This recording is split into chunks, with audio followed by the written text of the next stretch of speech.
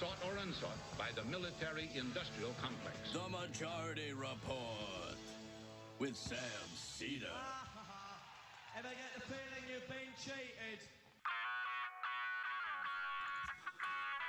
It is Thursday, April 30th, 2020. I'm Michael Brooks. This is a Michael Thursday. We're still in quarantine, circling the industrially ravaged Gowanus Canal in the heartland of America, downtown Brooklyn, USA. On this today, on today's program, Kurt Hackbarth. We'll talk about Corona in Mexico, how US foreign policymakers potentially, Mexican elites definitely, are attempting to use the crisis to pursue an agenda of toppling Mexico's left wing president. And how exactly is AMLO's record on Corona anyway? Tenants, the landlords are bracing for the largest rent strike in decades. That's right. Turn necessity into a strike. Amazon, Walmart, and FedEx workers are planning a walkout on Friday, tomorrow, May 1st. Gotta support them, folks. Everybody join the boycott. Don't order anything from Amazon. Amazon proving once again to be perhaps the most dangerous private dictatorship in the world, is cracking down on internal communication after a surge in worker activism. Donald Trump, not happy, been presented with very bad and not good polling numbers, suggesting that his reelection chances are slipping away. And GOP senators also starting to get very concerned about the midterms, even as Democratic frustration mounts as the Biden campaign remains radio silent on the sexual assault allegation leveled against him by Tara Reade. Trump's appointees manipulated CFPB payday lending research, next staffer claims. Bolsonaro says, so what? To Brazil's rising corona death toll. And corona has forced a, a delay in that U.S. extradition in the profoundly dangerous anti journalistic case against Julian Assange, who is still being held in inhumane and dangerous conditions inside the UK. Joe Biden says he would leave the U.S. Embassy in, in Jerusalem if elected, even as a new Israeli uh, coalition government starts to formalize apartheid policies. And Congress quietly boosts spending on lawmakers' exclusive concierge health clinic. That's great. As 70% of tested inmates in federal prisons have COVID 19. All that and much, much more on today's Majority Report. Greetings, Matt. Greetings, Brendan. How are you guys? Uh, I'm doing well, Michael. How about yourself? Uh, well, good so far because the internet is is holding up. Brendan, how you doing? I did a internet dance right before we started. Uh, the Hmm. stream today, and I have to say it's working so far. Yes. we're excited. And we're excited and we're looking at it very strongly. Wait, no, we're it's working and we're excited is a Kushner. Uh, Right? Yeah, I that's can't. that's That's, not Kushner one. precisely it, but that's close. Yeah, It's working it's working, the- and we're very excited. and we're very excited. Yeah. That's And what I did- that's what I did the dance to help with connectivity, of course. Oh yeah, to help with connectivity. to help with connectivity. We've had Mark Zuckerberg around here, just helping. He's a helpful guy. yeah, he's an extremely helpful guy. So a Um, whole bunch of new webcams installed. Right. I think we at some point we all need to look at some uh, open source alternatives to Zoom, guys. If we're going to start uh, living our whole lives on these platforms for the, you know, at least another several months. Yeah. Um, I should also say I can't believe I missed it, but uh, another over uh, three million more people uh, applied uh, are, are jobless um, as we head towards that catastrophic 40 million dollar uh, 40 million unemployment number just to reinforce it just needs to be said constantly and with relentless repetition. This is the, obviously the medical crisis the pandemic itself is not easily solvable. That's going to require uh, you know scientific collaboration research international coordination all the rest of it.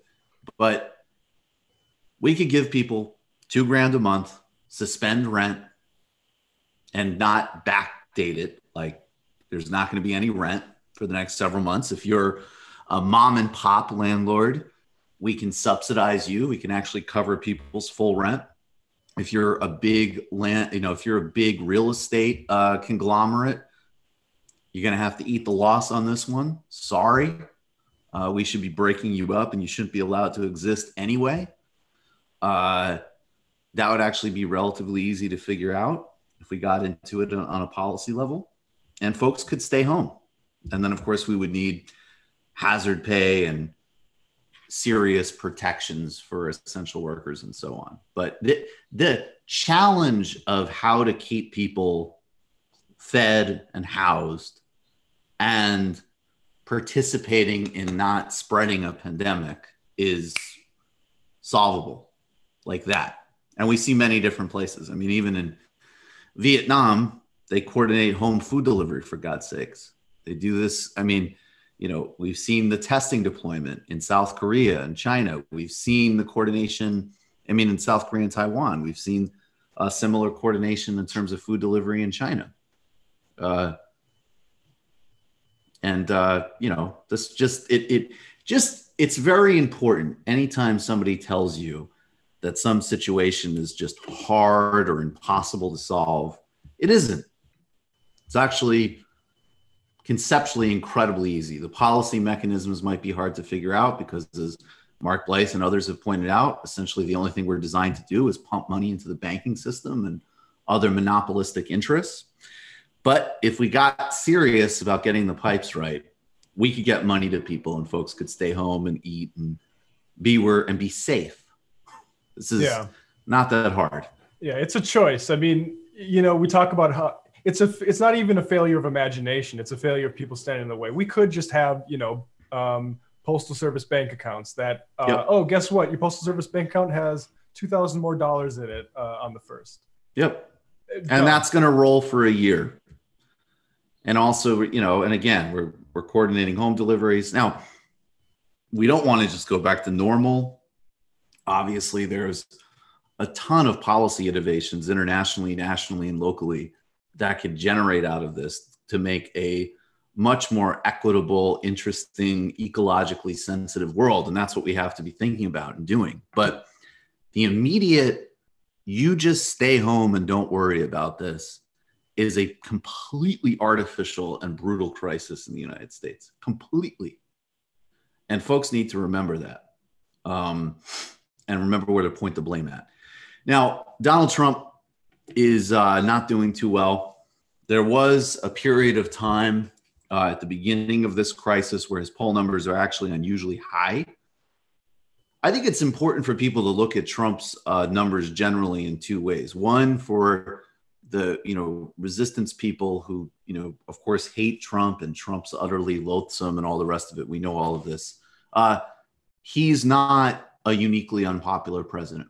It's important to remember that, and that's not just with his base to the extent that there's sort of you know I wouldn't even call them swing voters. I would call them sort of you know I don't even know how you define it, but there are some people who you could define as being in some sort of middle, a grab bag of politics. They don't necessarily like Trump at all, but they don't hate him in the same way uh, that maybe you or I would. Um, now, on the other hand, uh, he isn't popular and never has been particularly popular. I mean, this is a guy whose numbers are usually in the 40s. And he's generating from a fervent base that he has an incredible ability to communicate with. And of course, maybe the most ineffectual, embarrassing opposition party in modern political history. So those are the dynamics. In the beginning of the crisis, his numbers went up because he's the president, because he's out in front of it rhetorically, and because, of course, the Democrats have no leadership or strategy ever. And at the same time, there is just there is raw objective realities, and we're in an immense public health and economic crisis. This guy let it happen. And it doesn't matter how much bloviating he does. It's very easy for people to figure out, including people who might be sympathetic to him, his egotism, recklessness, and stupidity that accelerated where we're at. And that's showing up in the numbers. You know, a lot of people, I would say, obviously, people in 2016 were delusionally complacent about him not winning. I see certain contingents of people who are, frankly, way too confident that he's going to lose reelection. If we have an election and the trends stay and we have an election, Donald Trump's going to lose. And the reporting is reflecting that. Donald Trump does not like that reporting. And uh, first, let's actually start with uh, this two minute segment that Brian Williams, who, as we'll get to in a minute, is uh, in fact, I think he is a pretty publicly dem- uh, demonstrated liar, but he's not lying about this. This is Brian Williams reporting on Donald Trump's bad poll numbers and, you know, how unfun would it be to be in the meeting where you explain to Donald Trump that he's failing and his numbers suck? Lit up tonight in blue for the workers of the MTA who keep the buses and rails moving through the mostly stay-at-home city of New York. Well, good evening once again. Yeah, to be to be fair, the opening it's a very mundane clip, but it's it just goes to show how upset he gets. Day 1196 of this Trump administration, 188 days now until our presidential election. And on this day, spoken out loud to reporters in the White House, the president said this, and we quote, This is going away. I think we're going to come up with vaccines and all, but this is going away. It's going to go. It's going to leave. It's going to be gone. It's going to be eradicated. Indeed, the president's son in law, as you'll see here in just a moment today, called what we are living through a great success story. For that, today, his proud father in law called him a genius. Trump's effort to contain the growing toll on our nation comes as he also attempts to secure a second term in office. Tonight, the Washington Post has new reporting on the challenges for the president and on the impact of weeks of marathon briefings on the polls. The paper says recent internal polling shows him slipping behind Joe Biden in some key swing states and that he erupted during a call with his 2020 campaign manager after hearing that news. Quote, at one point in that call, Trump said he might sue Brad Parscale. Trump told Parscale he did not believe the polling that had been presented to him, even though it came from the campaign and the RNC. NBC News now has confirmed Trump's blowup. The AP has new details on this story as well. We will. Uh, threatening to sue Parcells. Sue Parcells. Dude, he should sue Parcells. If Donald, Donald Trump, I mean, he's a TV guy. There's no way he's watching this, but I would just like to register that out into the Trump universe. It does sound like bullshit. He should sue that guy. That's what it sounds like to me. Um, I mean, you're paying somebody who, first of all, I don't know who this guy Parcell is. I don't know where he comes from. I know he did some social media for Trump in 2016, or at least PACs related to Trump. And look, maybe he's a talented guy. Maybe he, he's who Trump deserves as campaign manager, or maybe he's a know nothing loser who's profiting off of Donald Trump's name and now giving him bad poll advice. I don't know, Yeah. but I'd certainly look into it and try to figure out what the hell is going on. It's like that scene in Spaceballs where he's like, "I'm surrounded by assholes." Like, are you an idiot? Wait, are you absolutely an incompetent moron? I'm surrounded by incompetent. Surrounded by total incompetence. I mean, Actually, they're, the No, problem is no. they're competent and telling him what he doesn't want to hear. So. right, right, exactly. It's kind of like uh, it's just like, hey, look, I mean, we can. It's it's one thing to agree that a pandemic isn't going to hit the United States. But at a certain point, we got to tell him that he's about to F up Michigan. and of course, anytime Donald Trump throws a tantrum and it's reported on, then there is the response to the reporting. I'm not having a tantrum tantrum. Here is Donald Trump on Twitter. Lion Brian Williams of MSDNC. There's always grains of truth. There's always grains of truth in what Trump says. I mean, he's got three truths in that. Okay, yeah, actually, this this is starting with three objective truths. Lion Brian Williams of MSDNC. Check, There's check. two. A Comcast, boom. That's a big truth. Comcast scam company. I'm sure anybody that's used uh, that that particular uh, outfit would agree and know exactly what Trump's talking about. Wouldn't know the truth if it was nailed on his wooden floor. Remember when he lied about his bravery on the helicopter? Totally made up story. He's a true dummy who was thrown off of network news like a dog. Like a dog. Yep. If you want a fun Trump uh, search on Twitter, search for all of real Donald Trump's tweets that say "like a dog" because it's some pretty good stuff there. Yeah, if his- he puts in a like a dog, he's he means it. His dad must have said that. There must have been some like weird formative experience with his ultra weird, bizarre father who said that. That that that, that has to be deep in the Trump psyche somehow. Yeah, I like Donald Like Trump a calling dog. other people liars too. you lied once. Do you remember that time you were busted lying? Never happened to me. but he's like again, it's that difference of all these people lie, but they have some like I, I you know who who even I don't even know the extent that matters. I, I I actually think it's very politically effective for Trump that because he is so uniquely mentally and emotionally damaged that he doesn't perceive his lies as lies. I think that helps him as a communicator, Right. paradoxically, right? Yeah. Because I mean, you know, people are very used to like a modern set of liars and people who, you know, they spin and they talk around things. Yeah. And then Trump just came along and was just like, I didn't do that. Like, do you remember that clip? I can never get over that clip of the Libya one where he, he was on, I think, I don't know, one of the Sunday morning network shows. And he it was one of the time where they they first started to take him seriously. And that he was railing about Libya, which, you know, again, was a horrifying disaster. And then they play this clip. He's sitting there. They're like, you know, you're attacking the Obama administration every day about Libya, but what about this? And then they go, you know, the idiots in the Trump Tower in 2011. And he's just like, you know, I've met Gaddafi, Right. I've dealt with him. We got to go, and it would be fantastic. And then they go back to him, and he's just like, I mean, we've talked about this a million times. His response was essentially, well, in my version, everything went great. It didn't grow great. So obviously, that wasn't what I was proposing. Yeah. I feel like he'd be good at a polygraph because where people, when they're lying, they're so focused on the truth. He's just already moved on to what the lie gets him. Exactly. Exactly. It's like it's uh, it's like uh, circumstances precede essence. Okay. Um, let me uh, let's let's uh, take a little break. We can Real- do not have really the capability to do that, so we kind of just have to bring Kurt on. Oh, we're gonna bring uh, Kurt on. Okay, sorry live. about that. So, uh, uh, yeah, Brendan, uh, if he's ready, I can admit him now. Do you know? I'll just do that. That sound good? Yeah, he's ready. Okay, cool. All right, I'm gonna dip out. Okay. Yeah, we we lost our smooth transition period. We lost our smooth now. transition period. Oh, it's, We'll get it this- back. Yeah, This is a smooth transition period.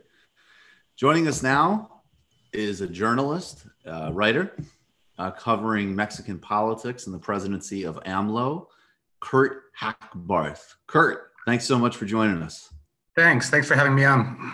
Uh, it's a pleasure. Um, Kurt, we're going to get into speci- the specifics around uh, Corona and what's happening now Sure. with AMLO. But uh, I want to start with a piece that you wrote uh, uh, also recently, but it's called They Got Filthy Rich. This is in Jacobin. They got Right. filthy rich off of cocaine trafficking and killed leftists. Now AMLO must make them pay. This and this really is important because it gets into you know, the actual political contours of the drug war in Mexico, the U.S. role in it, the, how the violence has escalated so uh, precipitously, going back to uh, the, the the Calderon era. But what specifically? I mean, how is first of all explain that kind of big picture, and then how it relates to the political targeting of AMLO a little over a year into his presidency. Yeah, so um, we got to go back a little bit in, in, history. In 2006, there was a very contested um, presidential election um, yep. with Felipe Calderon and AMLO running his first race. Um, the official results showed Calderon winning by a fraction, a half of a percentage point, and AMLO claimed there was fraud with good reason. So Calderon, um, when he took office, in a sense, to kind of cement himself uh, in power, launched this drug war in December of 2006, uh, in large part along the Colombian model. Right?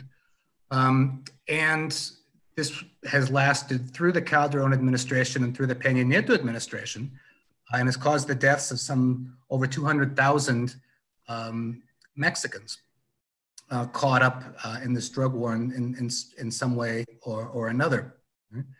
Um, AMLO, in his third run in 2018, ran on the promise of ending this finally, this 12 year um, reign of bloodshed. Um, a lot of it with US weapons, it has to be pointed out. 70% of the weapons used in the Mexican drug war flow across the border uh, from the United States freely. Um, and AMLO has struggled with this in his first year um, because, as we're now discovering, and it was suspected at the time, um, the Calderon administration was um, was infiltrated at its highest levels. Uh, right now, Calderon's former security chief, who I talked about in that article, Genaro Garcia Luna, is awaiting trial in New York City on on uh, charges of having colluded um, with the Sinaloa cartel. So we're at the prospect of cabinet members in the Calderon administration having been in collusion with the Sinaloa cartel the whole time that they were trying to sell this idea of a drug war um, to the Mexican public and the international public. Um, and it also became um, a means to, to suppress social movements and workers' movements and other things.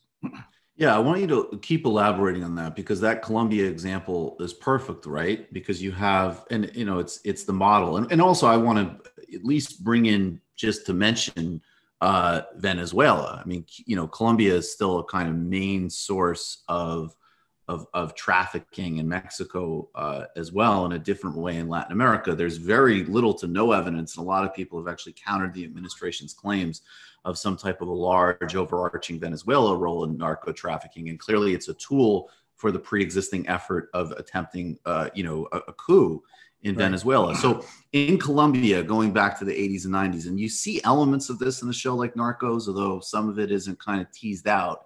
But you have a US backed sort of turning of the drug war into a war.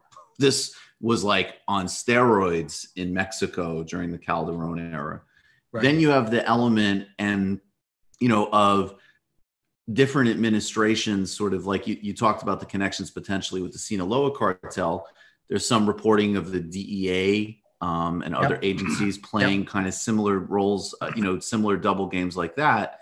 And so you you know, and, and again, just to parallel it with Colombia, you did have that dynamic for several years where at the bare minimum, it's like just not contestable that Colombian and, and US uh, forces were at the very least allowing the Cali cartel to do this right. like ultra dirty war against Pablo Escobar. Obviously, Escobar was extraordinarily dirty too, but the point being that there was at the very least informal collaboration with what would become the world's biggest drug cartel. So is that all that's is that all basically getting replayed over the last several years in Mexico? And did AMLO specifically say that in addition to social justice and you know into social democratic reforms, that he would actually change that dynamic, both in terms of U.S. foreign policy and uh, Mexican internal interests? They've talked in specific terms about what's called the Colombianization uh, of Mexico. And um, shortly after Calderon took power, uh, the Merida Plan took effect with the United States and Mexico. And this was a whole plan for what's called security cooper- cooperation um, and all kinds of other cooperation in this. So I think the answer is, is, is clearly yes. Um, I think something else that's not to be overlooked here is that this was at the exact same time, uh, a period when Mexico was, was desperately trying to privatize uh, its oil uh, company, Pemex, which right. tried to do, and uh, the following president, uh, Peña Nieto, succeeded in doing at least in part. So I think we another thing to look at is this connection between drug wars in quotes and opening up countries for exploitation of minerals and natural resources. And that we saw in Colombia and that we're seeing uh, again uh, in Mexico. Now, um, AMLO did run very specifically on a pledge to stop the violence. That was a very clear part of his, of his program uh, in 2018 of bringing this to an end. Now, it's been a real challenge and the, the levels of violence have continued. Be honest. Um, he's set up uh, what's called the National Guard, which is a militarized uh, police force, which is a new militarized police force in an attempt to um, combat the corruption and the infiltration of existing forces. The problem is it continues to be under military control with all of that, with all that implies with regards to uh, potentials for violations of human rights, um, you know, uh, being beyond the reach of civilian courts and a lot of other things.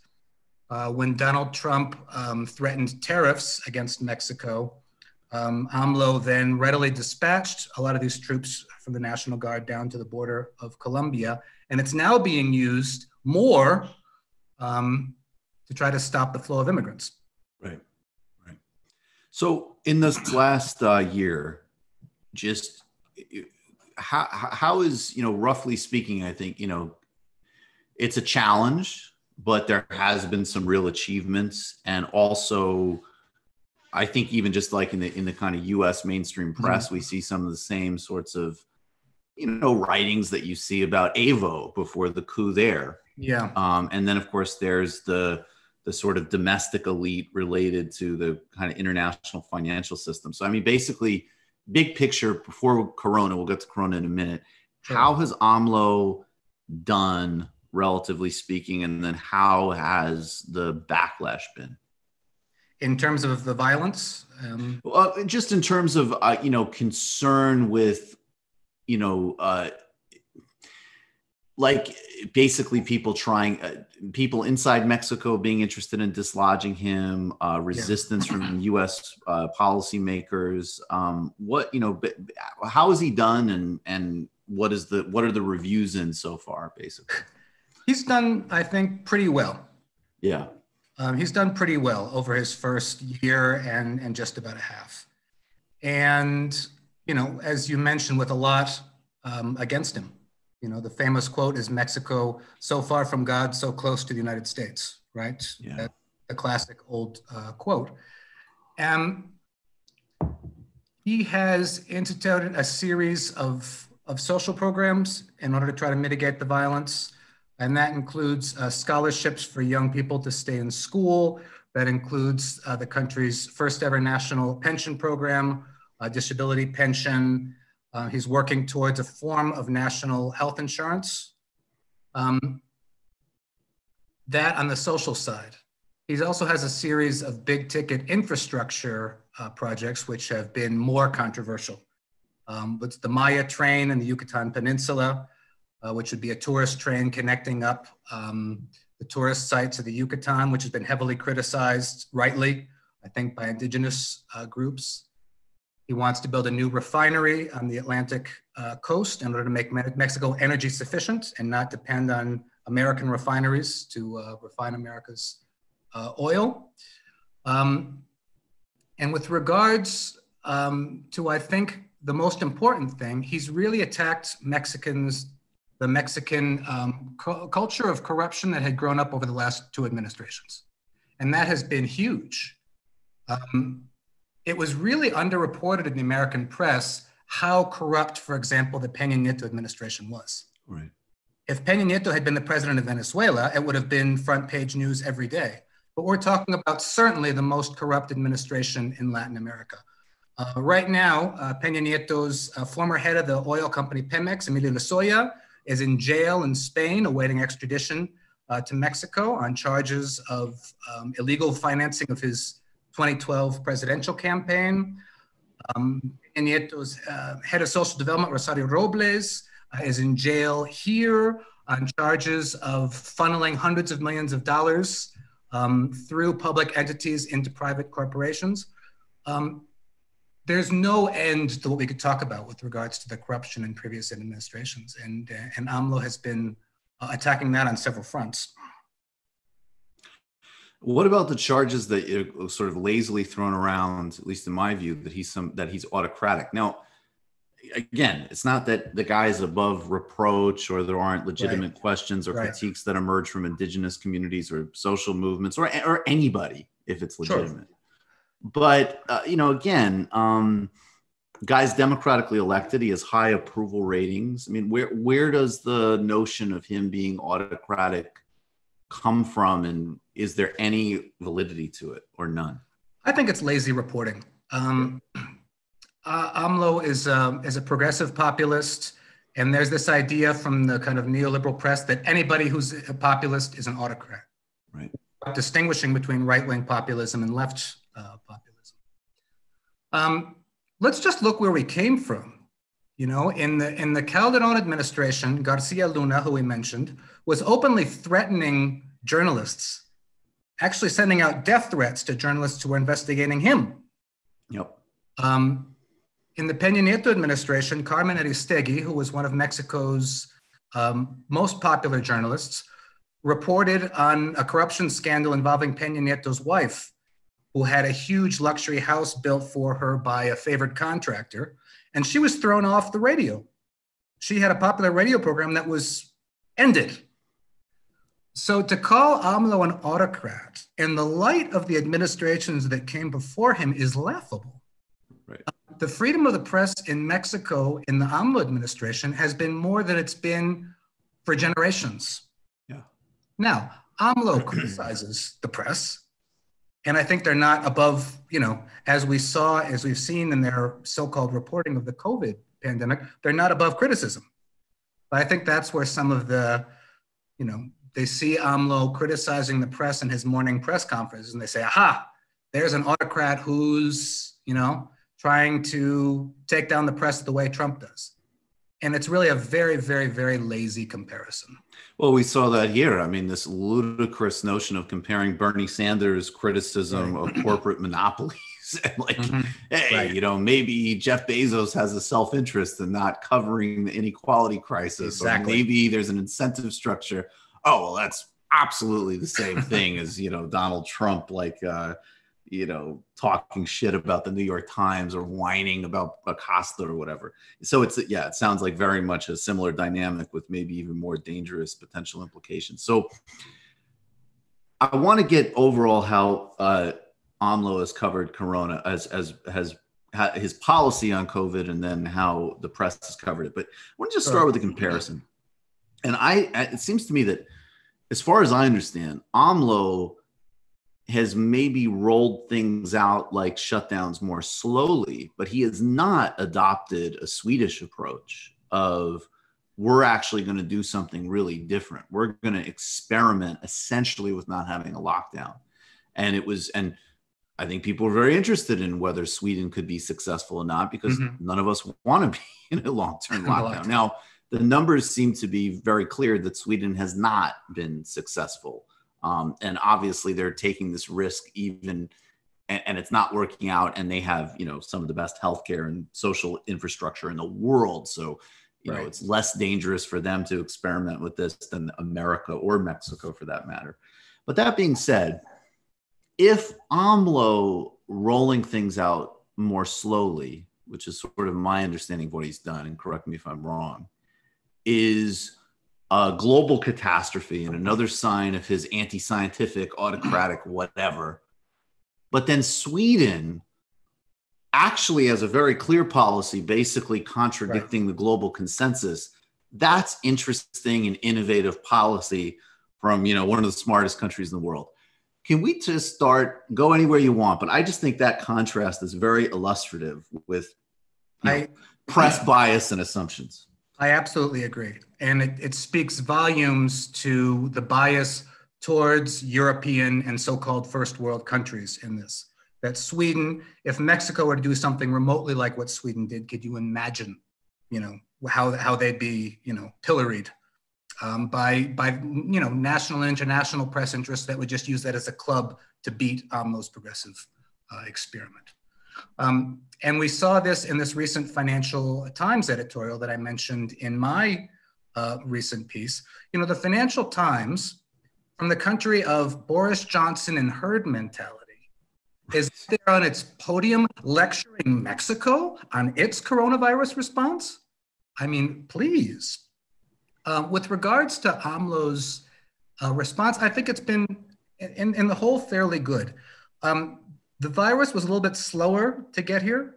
It was a little bit slower than, than the US and certainly uh, Italy, Spain, uh, Western Europe. And um, Mexico was actually relatively ahead of the curve in closing main things. It was ahead of the curve, certainly compared to Italy and Spain and others, in closing schools, um, in closing non essential federal government uh, functions. Where AMLO was a little bit slow was in his own um, holding rallies. He was still out there with the people, um, somewhat beyond what would have been uh, recommendable. And we can discuss why that why that was too. But in the main, the closings happened ahead of, ahead of time. So Um, then, uh, yeah. So then, how is this? I mean, uh, if you want to, you can explain why he's still out. You know, why he was out rallying later, but also, you know, more broadly, what? Give us some real examples. There's a Financial Times editorial. There's some incredible examples from the Mexican press. Yeah. Uh, you know, how relative to what's happened, get into the details of how this has been misreported. Well, this has everything to do with the structure of the Mexican uh, press, which is, you know, an oligarchic press system with two main television stations, Televisa and TV Azteca, and a series of, you know, uh, newspapers owned by wealthy people with their own with their own interests. So, sound familiar, right? Um, during previous administrations, the press was semi controlled through massive spending and government publicity. The government would spend millions of pesos in government publicity, you know, to put advertisements and such in newspapers um, and to commercials on television stations. But it became a way to funnel millions and millions and millions of pesos of government publicity into the coffers of the television stations and the newspapers. That was called the chayote in Mexican Spanish. Um, that kept the press on side. They were, you know, indirectly bought off the mainstream uh, press. And then even a, a lot of these um, pundits and anchors would have their own like private press companies or websites, which would also get more government publicity and even more, you know, um, enrich their coffers. AMLO comes into power and he drastically cuts the budget for government publicity.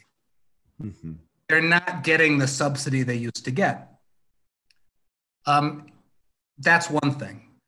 And the second thing is, you know, this it's it's a pundit class of conservative, wealthy, you know, columnists and and uh, TV presenters who are in absolute no contact with, you know, with the Mexican public and cannot understand why AMLO continues to be popular, um, you know, with 60 and 70% approval ratings, uh, you know, in the face of what to them is clearly a disaster? And their own, and their own Mexico City bubble. It's just an absolute disaster. And how can people not see it the way they, they do? Now, it's one thing for them to have their opinions, but it's another for them to then take the next step and report fake news. And they've been doing throughout this COVID crisis. And I mentioned a few examples in the piece. Um, you had kind of the former premier anchor in Mexican television uh, tweeting out the news that um, this Jose Kuri had died, uh, this magnate. Um, you have people uh, tweeting out news that Mexico is about to um, enter into a phase three tomorrow, severe uh, level three pandemic response. You have people tweeting out even stuff I didn't mention in the article that the government was buying pirated medicines, uh, that private labs were not being allowed to, get, to do testing. Um, the list goes on and on and on, and you have these high paid pundits with no scruples whatsoever participating um, to the point of ridiculousness in this fake news barrage that's been going on. And you also let's talk about. Can you talk substantively about the social bailout because that is, I mean, certainly the most important thing from a human well-being perspective outside of the the pandemic itself. Um, sure. Talk about what AMLO's actually done, and then talk about the irony of the Financial Times. Now, I will say, Financial Times definitely is on the sort of side of uh, of the financial press of, hey, let's give the peasants a little bit. Like we don't want to completely have social disruption. So I mm-hmm. will say that, you know, Martin Wolf for a decade during after the recession was writing and talking about the need to deal with some income inequality, and then, you know, of course, they sat down and destroyed Corbyn when that actually became something viable on the table in the UK, yeah. a real thing. So that being said, the incredible irony of the Financial Times attacking a progressive populist in a developing country for not having a big enough social bailout. Yeah, I mean, what do you say about that? You know, you've got Moody's and Fitch and Standard and Poor's uh, lowering Mexico's bond rating. You know, taking advantage of COVID to slap down Mexico's bond rating for its sovereign debt and for Pemex, its oil company's debt, which makes it um, more expensive to borrow. And then on the other hand, they're saying, why isn't he borrowing more? Why isn't he doing stimulus? You know?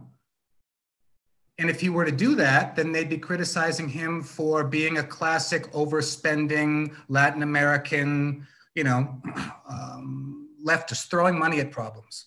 So you really can't keep up with how they're how they're criticizing him uh, on this. And I think there's another point to make that's important. Uh, Mexico has a revolving line of credit with the IMF which AMLO has not wanted to use, I think for very legitimate reasons. Once you start getting in debt with the IMF, the IMF then starts dictating to you the, what they want you to do uh, to, in order to pay them back. And usually that means raising taxes on the poor, such as gasoline taxes or sales taxes, which in Mexico is the value added tax. It's happening now in El Salvador, which which got an IMF loan, and the IMF is right there saying, "All right, you guys have got to start doing this, this, and this for fiscal year 2022." Um, that said, I think AMLO could be doing more. Um, he's been very macroeconomically he's been very macroeconomically orthodox. Yep. But I think we have to understand that Mexico's not in a position like the United States. It's not the same case. You know, if Mexico deviates, its uh, its currency is at risk. Um, you know, investors flee the country. Um, oil prices have tanked. He's got to be he's got to be careful with what he does. Right. You know? Right. And um, I think sometimes that's not that's not taken sufficiently into into into account. The, his, his room for maneuver. One thing I would criticize AMLO on is that he's refused to raise taxes on the wealthy, which is what needs to happen right or later. Uh, Mexico's wealthy get, get away with murder. They pay very little taxes. Um, there's all kinds of loopholes in the tax code. Uh, the capital gains on stocks is 10%, which is a joke. Um, you know, Mexico is a factory of millions of poor and a handful of some of the richest people in the world. Why is he not wanting to do that? What is his calculus in terms of his and, and maybe you know what? Can we just talk about the I think the two kind of clear areas where mm-hmm. there's sort of like okay, let, there's areas that AMLO deserves a lot more credit than he's getting, and you can see all of the institutional and and and international bias against him because yeah. he is even you know even a I mean, look, you know, we've I've covered Brazil a lot. I mean, Lula was an extraordinarily conciliatory, strategic leader. He still becomes a victim of a U.S. foreign policy process, right? So I, you know, there is the idea of anybody in in Latin America with an even modest uh, social democratic agenda is going to get run afoul of of U.S. press and other aspects of U.S. foreign policy uh, apparatus. Then there's okay, maybe we genuinely, you know, have a disagreement um, or you know want to kind of focus on on different perspectives on something like you know a development project that implicates different types of ecology or first nations people or whatever. That's important. That's a, that's a worthy debate.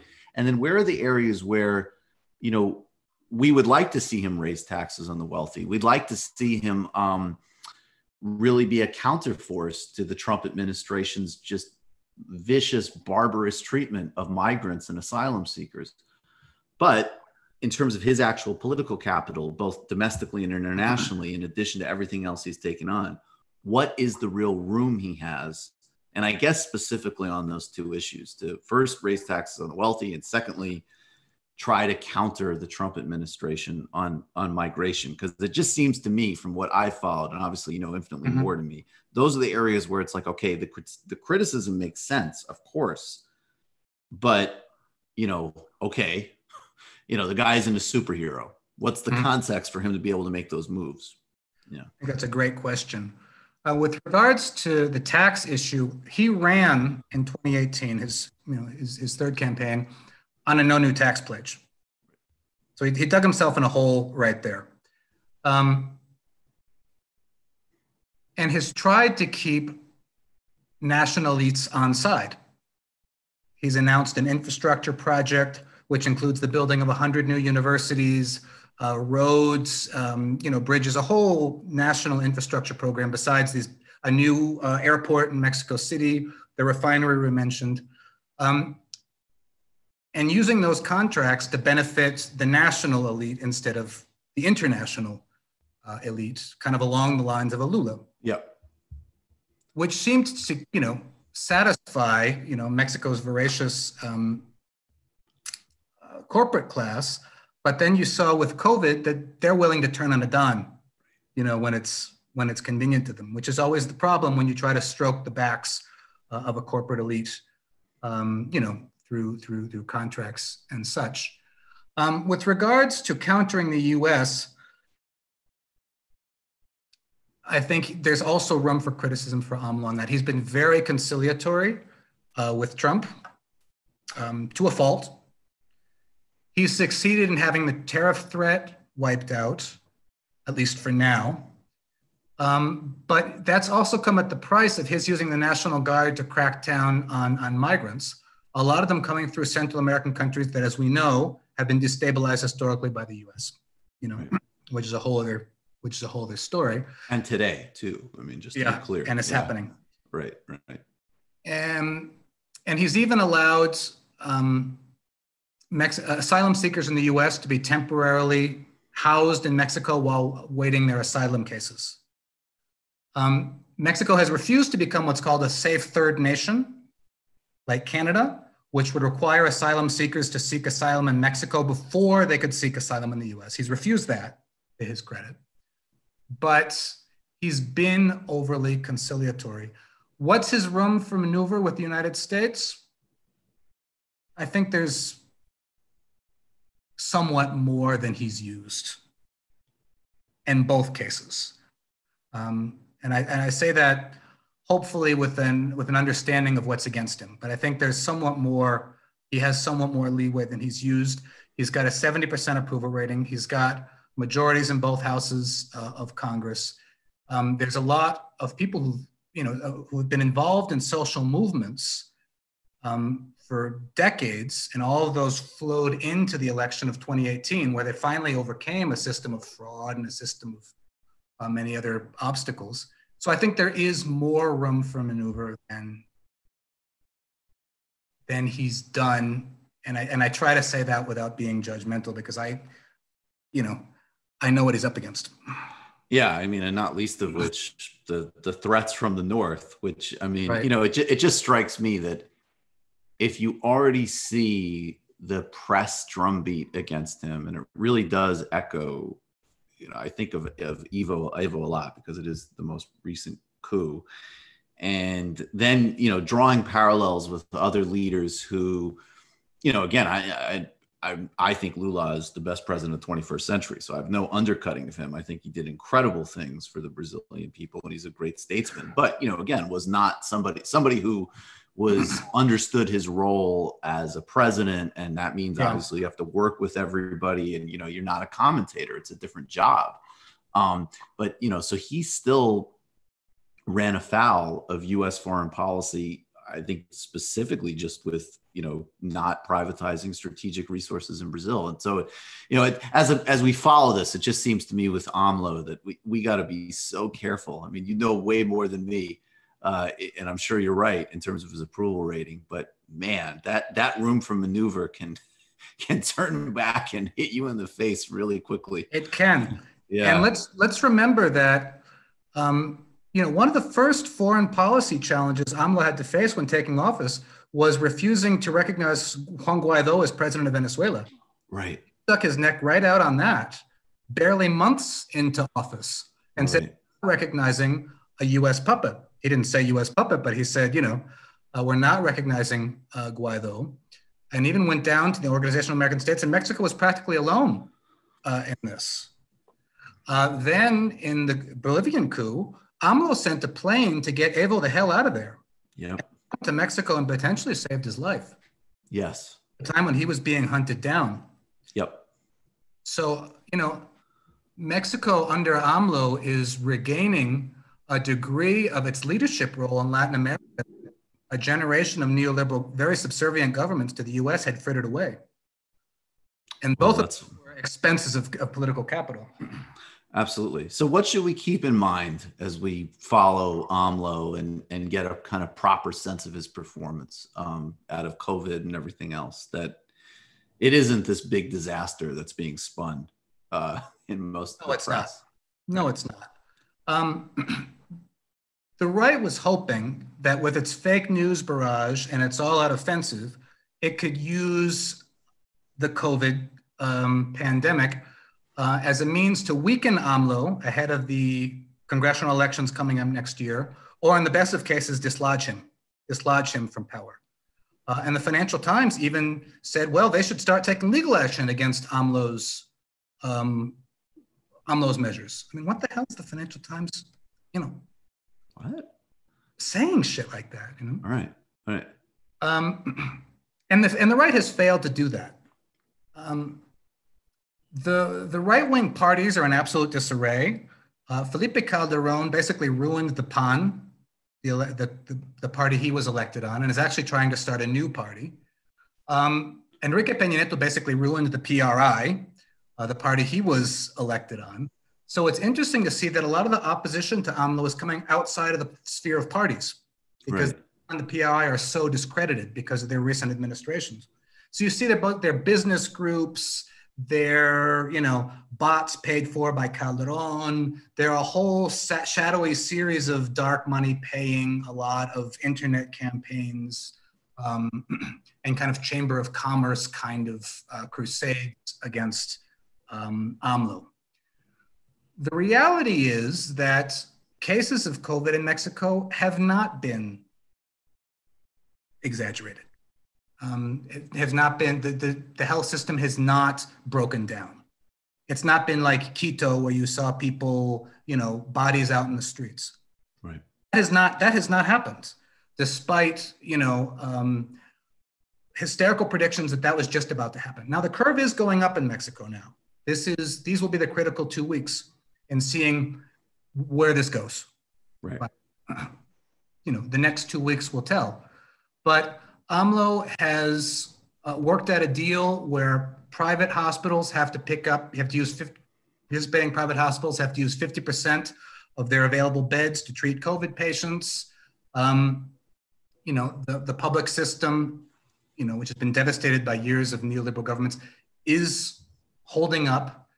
Um, the public is, you know, mainly respecting uh, the quarantine. It's not an obligatory lockdown, but it's, you know, a government, you know, with a lot of government pushing um, a quarantine, and that's going to stay on through the mid-May in some places and through the end of May. Um, and so the largely predict the large, you know, the large predicted disaster has not has not occurred.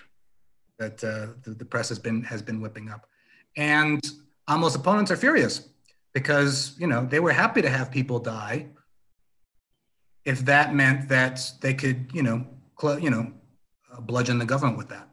Right.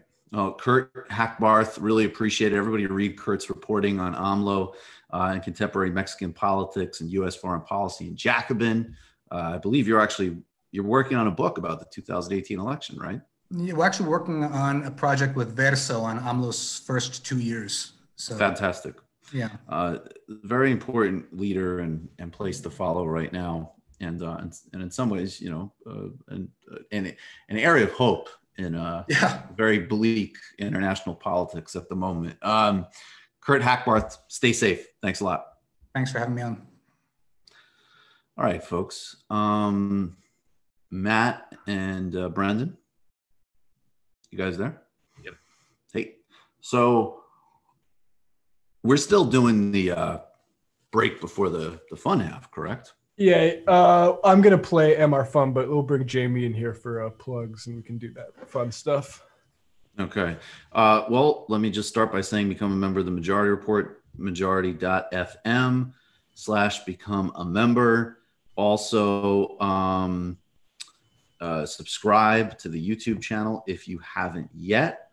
Uh, I will say, um, I think actually the first orders are, I, I know at least that people are telling me that orders in my book are sold out, which is awesome um, which I'm loving. But I would still go try to get. Thank a Thank you, George Soros. Thank you very much, George Soros. George Soros summoned me to his death chamber where he was taking blood from a young blood donor, and he said, "Please, more Dave Rubin material." yeah. Um, actually, there isn't very much Dave Rubin material. Uh, it's uh, particularly, I would say, the conclusion of the book on the African National Congress and cosmopolitan socialism. That there is a bigger project and argument there, which I'm really excited about. So check it out. Against the Web, uh, Cosmopolitan Answer to New Right.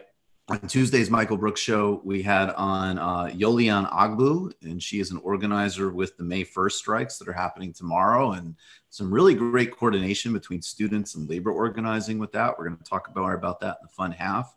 That's a very important effort to support. And we also um, had a really fun time with Judah Friedlander.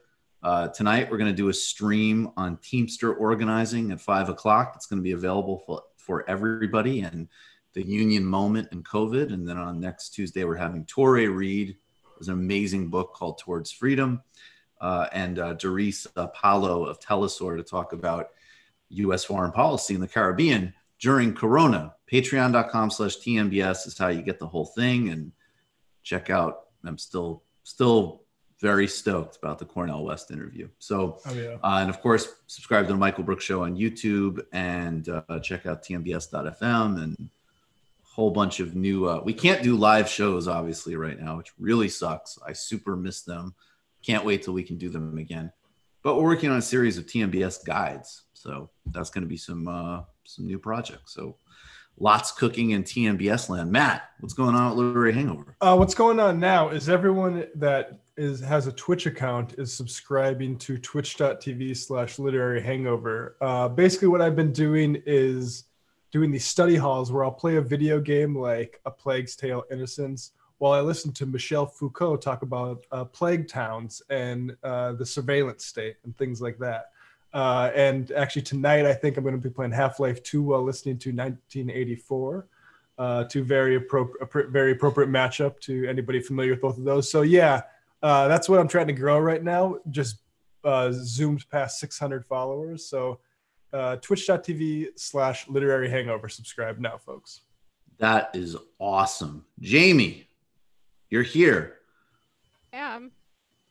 You're also quiet, but you do have You're a mic quiet. stand this time. Can you Hello? hear me? Hold Can on. you hear me? Uh, we can, but your mic is a little bit low. It's low. How about Oh, about there we go. That's better. There you go. That's better. Better. Yep. Yeah, go. Excellent. Excellent. So this week on the Antifada, I knew I know I said we were doing a Bernie postmortem, but that was postponed. Um, yesterday we ran an episode about the U.S. and China, and their political economy and how they became intertwined. Um, it is the first of a two part series on China. So if you're interested in China and what's going on over there, check it out. Um, this weekend, we're recording an episode with Asad Haider on depoliticization. That will serve as our Bernie postmortem. I think um, think it's going to be pretty good. And also, I got the date wrong last time.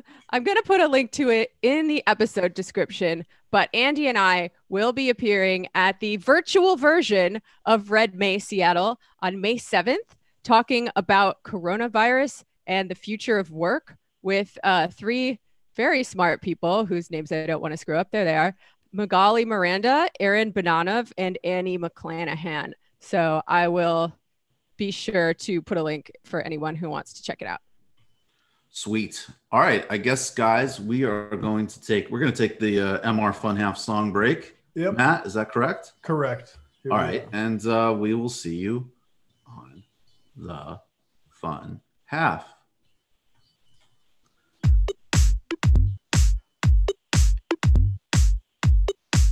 Left is best.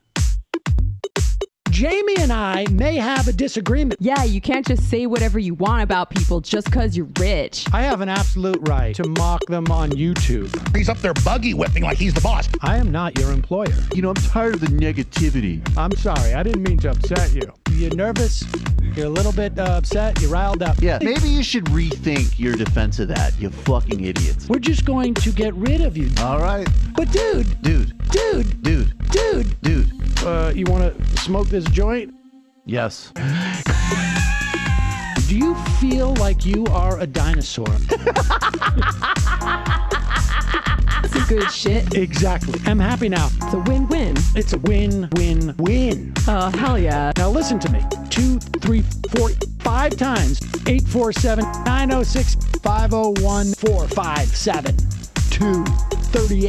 906 501 457 2 38 56 27. One half. Five eighths. 3.9 billion. Wow. He's the ultimate math nerd. Don't you see? Why don't you get a real job instead of spewing vitriol and hatred, you left-wing Limbaugh? Everybody's taking their dumb juice today. Come on, Sammy. Dance, dance, dance.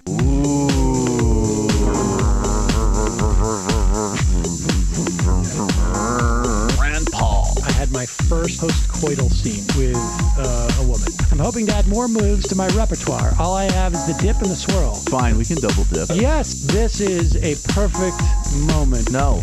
Wait, what? You make under a million dollars a year. You're scum. You're nothing. Excuse me? Fuck you, you fucking liberal elite. I think you belong in jail. Thank you for saying that, Sam. You're a horrible, despicable person. All right, gonna take a quick break. I want to take a moment to talk to some of the libertarians out there. Take whatever vehicle you want to drive to the library. What you're talking about is jibber jabber. Classic. I'm feeling more chill already. Good. Donald Trump can kiss all of our asses. Hey, Sam. Hey, Andy. You guys ready to uh, do some evil? Hitler was such an idiot. That guy might be a Nazi. Agree. No. Death to America. You. Yes. Wow. Wow, that's weird. No way! Unbelievable. This guy's got a really good hook. Throw our hands up. Wow.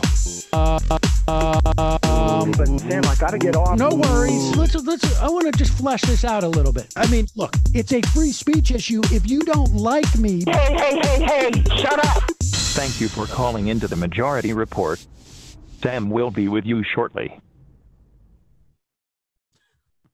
I can only imagine what Walter Block is uh, thinking and saying during Corona. It's, it's good Uh, every time. That song. It always works. I don't want to look up what he's saying. Like, I don't actually want to know. I just imagine it would be pretty funny. There are no atheists in a foxhole, and there are no libertarians in a pandemic. What's Walter Uh, Block? up I gotta give uh, Walter Block credit. I, I would. I don't know about that. I can imagine if there's some type of like, there should be a global scheme where people can sell it to each other. Okay, he's still. Oh, I got a 500 and internal server error on his website. Oh, Um, all right. So he might be. uh but he's still like posting things. Apparently, He's still And posting. Walter Block and William Barnett on problems with the Hayekian triangle. Oh Jesus Christ! All right, I don't. Yeah, please, something I do not want to know about. All right, let's uh, talk about this for a few minutes. This is really important. It's something um, that uh, this is one of those things that's very easy to participate in, but if it goes to scale, it will be significant. I'm going to quote now from the Hill. Workers from corporations are planning a walkout on Friday, including employees from Amazon, Walmart, and FedEx. The workers are seeking better health and safety standards as well as having as well as hazard pay while working during the corona pandemic. Former Amazon employee Christian Smalls shared a flyer on Twitter last week that included other prominent company names participating in the demonstration on May 1, such as Instacart, Target, and Whole Foods. Of course, Whole Foods is owned by Amazon. The Friday demonstrations will also request protective and cleaning equipment and full disclosure on the number of infected cases in company facilities. The protests would result in employees of the listed companies calling in sick from work or stepping out during their lunch break. At the same time, some union members will reportedly join workers outside of warehouses and storefront in support of strikes. And you could see there's actually images of different um, strikes that, of course, definitely don't get the attention that the Reown, Reopen America uh, strikes get or Reopen America protests get. Uh, but there's there is ways that if you don't get too many people um, at these things, that people are actually maintaining social distance but being physically present which i you know i would not advocate obviously from my position anybody do uh, but at the same time you can't underestimate that physical presence with people doing it safely is in fact quite significant. So for people who are putting that on the line in these unions i really want to acknowledge that because you know and also at the same time say that you know you're stepping out of a job with a company that is willing to kill you on a daily basis anyway. Um, so it's it's brave and it's significant. Now we can talk and we should talk about the bigger implications of some of the revival and labor that's happening right now and the wildcat strikes and new people like christian smalls who you know i had the pleasure of interviewing who's gotten some traction as a very brave and very effective organizer. Um, what does that mean for long term demands? What does that mean for creating a social infrastructure in the United States? As of now, um, we are in such a predatory phase of how we do uh, capitalism in this country that these are demands that anyone with any kind of I don't want to say base decency. I mean, I want to say with a society, in a developed country that had any labor power, these things would have already been taken care of, right? Because Amazon and Target are not going to take care of people out of the kindness of their heart. Obviously, that's just a margin.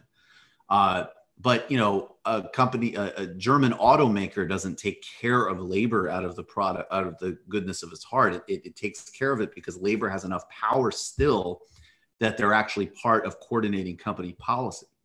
So I want to put, I mean, there is the moral dimension to this on some level, of course. And obviously, you know, you can pick an extraordinary scumbag like a Jeff Bezos. But the bigger picture here is that if you don't have a countervailing power of labor, then companies will do what they want. And it is just a cost benefit analysis. And that and this is something that really, I mean, if you could just read Marx for the singular reason of understanding that power dynamic, that would be sufficient. I don't even care where your politics go. And a lot of people who actually had, I will say for the centrists out there, the previous generation of centrists who were able to actually win, particularly in the UK, a lot of them had read this stuff, took it in a totally different political and policy set direction, which you're free to do, but they at least understood how power worked on some level and uh, and I think that's just very important. So I want everybody to jump in, but please, in this case, it's a bare minimum. If you're in quarantine, don't order anything from any of these companies during that day. And I'd certainly say, um, as much as I don't want to exaggerate the significance of individual consumer decisions, I, I've been talking with people who have been finding ways to basically not use Amazon anymore. And even regardless of the very important political and economic consequences, if that was scaled, uh, it makes their life more interesting because it's more engaging and more dynamic to operate outside of an all consuming bureaucracy. Yeah, I think if you're able to maintain your consumer power through this period, you should find some other place to order. Like I've been ordering computer parts from specific like, and you know who knows how great those are too. Like um, I forget Newegg. I don't know. Hopefully Newegg's good. I don't know, but it's not Amazon, right? Right. So I mean, I will admit to using Amazon. I don't feel good about it, but they make it the easiest option. Like they were successful at that. And uh, but don't definitely don't do it on May 1st. Don't be a scab. If you need stuff, plan ahead. Um, it, it's so important what's happening right now. I mean, we are seeing right now um, David Graeber's uh, bullshit jobs thesis being carried out in that we are seeing which jobs are essential and which jobs are not. Um, he also and, and it turns out the essential jobs are often what he calls shit jobs. Pardon my French, not my term, but they're shit jobs because you don't get paid enough to do them, and you often uh, don't have labor rights, you don't have a union, but there's nothing bullshit inherently about these jobs. Like they're actually really important jobs. And in a better world, um, you would be compensated for them on the level that you are contributing to society. So it, it's really, it's so important to see people uh, recognizing their power as workers and as a class. And given that these corporations are global ones, I hope that we, and I wouldn't be surprised if we started to see some kind of international solidarity from workers who work all around the world for these companies. And we should just spell out the media angle of it too, where you're talking about why the uh, reopen protests get attention and these ones don't. It's because those ones uh, are a lot more boss friendly, and our media exists to like basically tell bosses what they want to hear. That's exactly right. Now that, by the way, that does not contradict for people who, for people who get ultra linear about points. It's Right. really helpful to remind yourself that you can note several aspects of a situation at once. So with the reopen protests, there is absolutely an astroturf dimension. It absolutely is a pro boss dimension uh, agenda, and it absolutely draws some very extreme right wing forces which suck. And it absolutely is also in a context where there is not a social infrastructure going to appeal to people Right. who feel correctly that they need to get back to work because they're not being provided for. All see how I just listed those three things out? That's I mean, again, this is actually another thing that's good about uh, about reading Hegel and Marx, frankly, is dialectics are good. Li- Life is not linear. There is dynamic interplays between things that produce contradiction and synthesis. And this isn't even, I mean, honestly, uh, indulge me for a second. In Mahayana Buddhism, emptiness is form, form is emptiness. That's a dialectic. Like this is a this is a it is a helpful it is a particularly in a world and this gets a little cliche, but we are living in some pretty complicated times. You're gonna need to be able to to track multiple truths at once. Right. And also never blame the propagandized individuals in the f- hellscape such as we're living in, frankly. Well, that's also just that's that's something you don't even need to uh, to complexify. That's right. It's always you know if you want to focus on that aspect, focus on the DeVos family. Right. So, uh, what would be the synthesis of uh, right wing astroturf protesters and uh, working class people who just want to go back to work so they have money? What do you mean? You said there's a synthesis involved. Oh, there's contradiction and synthesis across everything. Yeah. So, what's the synthesis? I don't I don't understand what you're saying. In dialectics, right? There Uh-huh. are like one force doing this thing and one force doing this thing, and they come together Right. and they create a synthesis. Just curious Right. what you think that is here. Oh, you want to go to the fascism synthesis? Oh boy. It's- that's definitely. I mean, I think- I mean, that's I- that's the synthesis that we've been playing out for a little while. I'd rather not go to there, but uh, I get what you're saying. I mean, there's also exploiting a contradiction inside that group by appealing to the working class component of it and not hectoring and blaming them. Yeah, and keeping an my- eye on my point. And keeping an eye on the fundamental contradiction, which is that fascism serves bosses, and Right. it's never not going to serve. Absolutely. There is right. That's true. Fasc- it, it's a cross-class alliance that is never good when that happens. On the other hand, I want to also, you know, as important as I think these are, I think that we also need to look at the that basically uh, many economists have pointed this out that the Fed and the federal government operate as almost like a slush fund uh, Yeah. for the corporate sector to stave off any economic pressure that strikes would even generate. It's And corporate another- MMT. yeah, it's it's corporate MMT, and it's and it's literally an unending well. Um, so we still are on a level two where these strikes are profoundly important, and they can win material gains for the workers, which is the most important thing. But the effects are not economic; they're PR effects, and that's another. You know that the situation would really have to scale, um, really have to scale in a way that is not present in our reality for it to, to implicate the economics. Now, let's also talk a little bit about uh, what the M- NBC is saying. NBC headline: Survival tenants, landlords uh, survival tenants and landlords brace for largest rent strike in decades.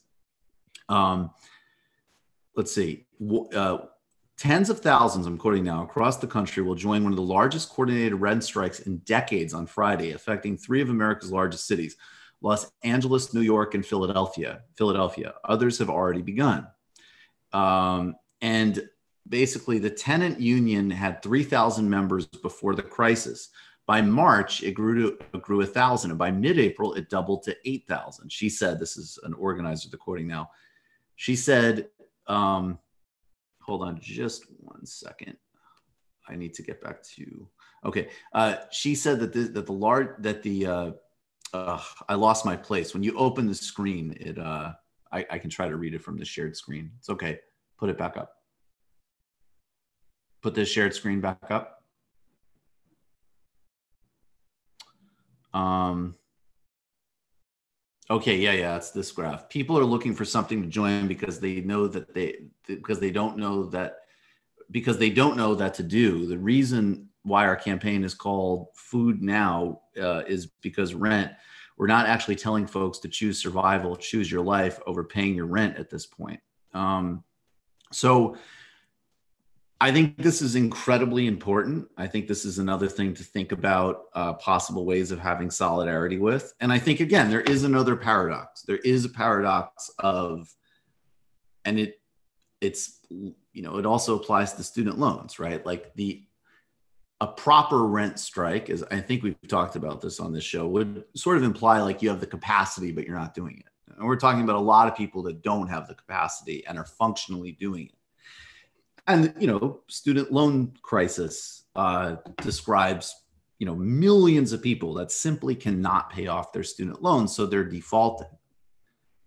I think there is still a useful I, it's important to know that material difference and there still is again at least the important political reframe of even if it is just out of necessity that all of a sudden if you join with thousands or millions of other people and do it, it does take on a different political force in the culture because you know that story, of course, is talking about the fact that people are broke because we're in a depression, but the frame is, oh, this organizing, this tenants union is growing a little bit, and they're actually doing something. That politicizes something, and that does have an inherent value. And I and you know with all these stories, I I just want to keep playing the the paradox that is this a properly understood strike, which would imply capacity that's being withheld? No. And at the same time, it is very, very important um, that people, you know, I, I think if millions of students several years ago said, all of a sudden st- said, wait a second, we collectively, we can't pay these things. So we won't. Fuck you. let's make it their problem. That does shift the political calculus, and that is significant. Well, well, on that note, um, one thing that I've seen people doing is um, people have a different range of situations right now. Maybe some people can pay, maybe some people in the same building can't. And what we're seeing is people using people who can pay are using that rent uh, to they're withholding it in solidarity with the people who can't. So they're saying, okay, uh, landlord, everyone who can't pay the rent, their rent has to be forgiven. And if you meet this demand, we will pay our rent. If you don't meet the demand, nobody's going to pay. And I think that's going to be fairly effective in many cases. Um, yep. I, I also want to caution people uh, like there are real uh, ramifications to going on rent strike. And oh, yeah. if you are the only unit in your building that does it, you're probably just going to get evicted. So oh, definitely don't be the yeah. No, I would warn to- people to like speak with housing Definitely. rights organizers who know what they're doing and talk to your neighbors and try to get your building on board if you want to do this. Otherwise, I mean, obviously, if you just literally can't pay the rent, you don't really have a choice in the matter. You might as well politicize it as part of a rent strike, but definitely be aware of uh, all the all the dangers involved. Hundred percent. Uh, that's very important. All right. Uh, Donald Trump is freaking out. He might even need to sue his campaign manager because his numbers are slipping. And as I've said in the beginning, I think setting all politics aside, I hope that you will look very strongly into that, Mr. President. And Parscale's too tall. I mean, frankly, we know Short's not good, but he's too tall. So there's a lot of things that I think you should be checking out there. I heard, I heard he's working for Joe Biden, so I don't know. I mean, many people are saying it. I also heard that nobody would like. I wouldn't even know who he was if he wasn't associated with Donald Trump. Like, that seems unfair. Yeah, I- he's the unhinged guy from social media, right? Brad Parscale. Like he's. I like- believe so, yeah. Yeah, it's that's very funny. Or as I've heard him, he's the guy giving Donald Trump bad advice, which is totally unfair. You gotta get Manafort out of jail. Yeah, you got to boost. Hey, him we're working on Flynn. Yeah, yeah. Get Where, back, where are Flynn the back in pardons? administration. Where are the pardons? What kind of a you know what? Donald Trump is such a pretend gangster. Do the pardons. You want to prove something. This is Donald Trump. When he's upset, he retreats deep into fantasy life. He says the virus will go away and we'll be at Yankee Stadium. And trust me, I've, I've been having a similar fantasy the past couple of days. But I'm not the president, and I'm not going to say it on national television because it ain't happening. I know, look, always as much as we say, you know, look, is he delusional and everything else? Absolutely. But I do think you got to look at there's always some method to this, and it is keep juicing the stock market. And uh, maybe I, can just bullshit my way to reelection. Is this three or four? This is three. And we'll play four afterward. We'll play four right afterwards because uh, this is a nice couplet.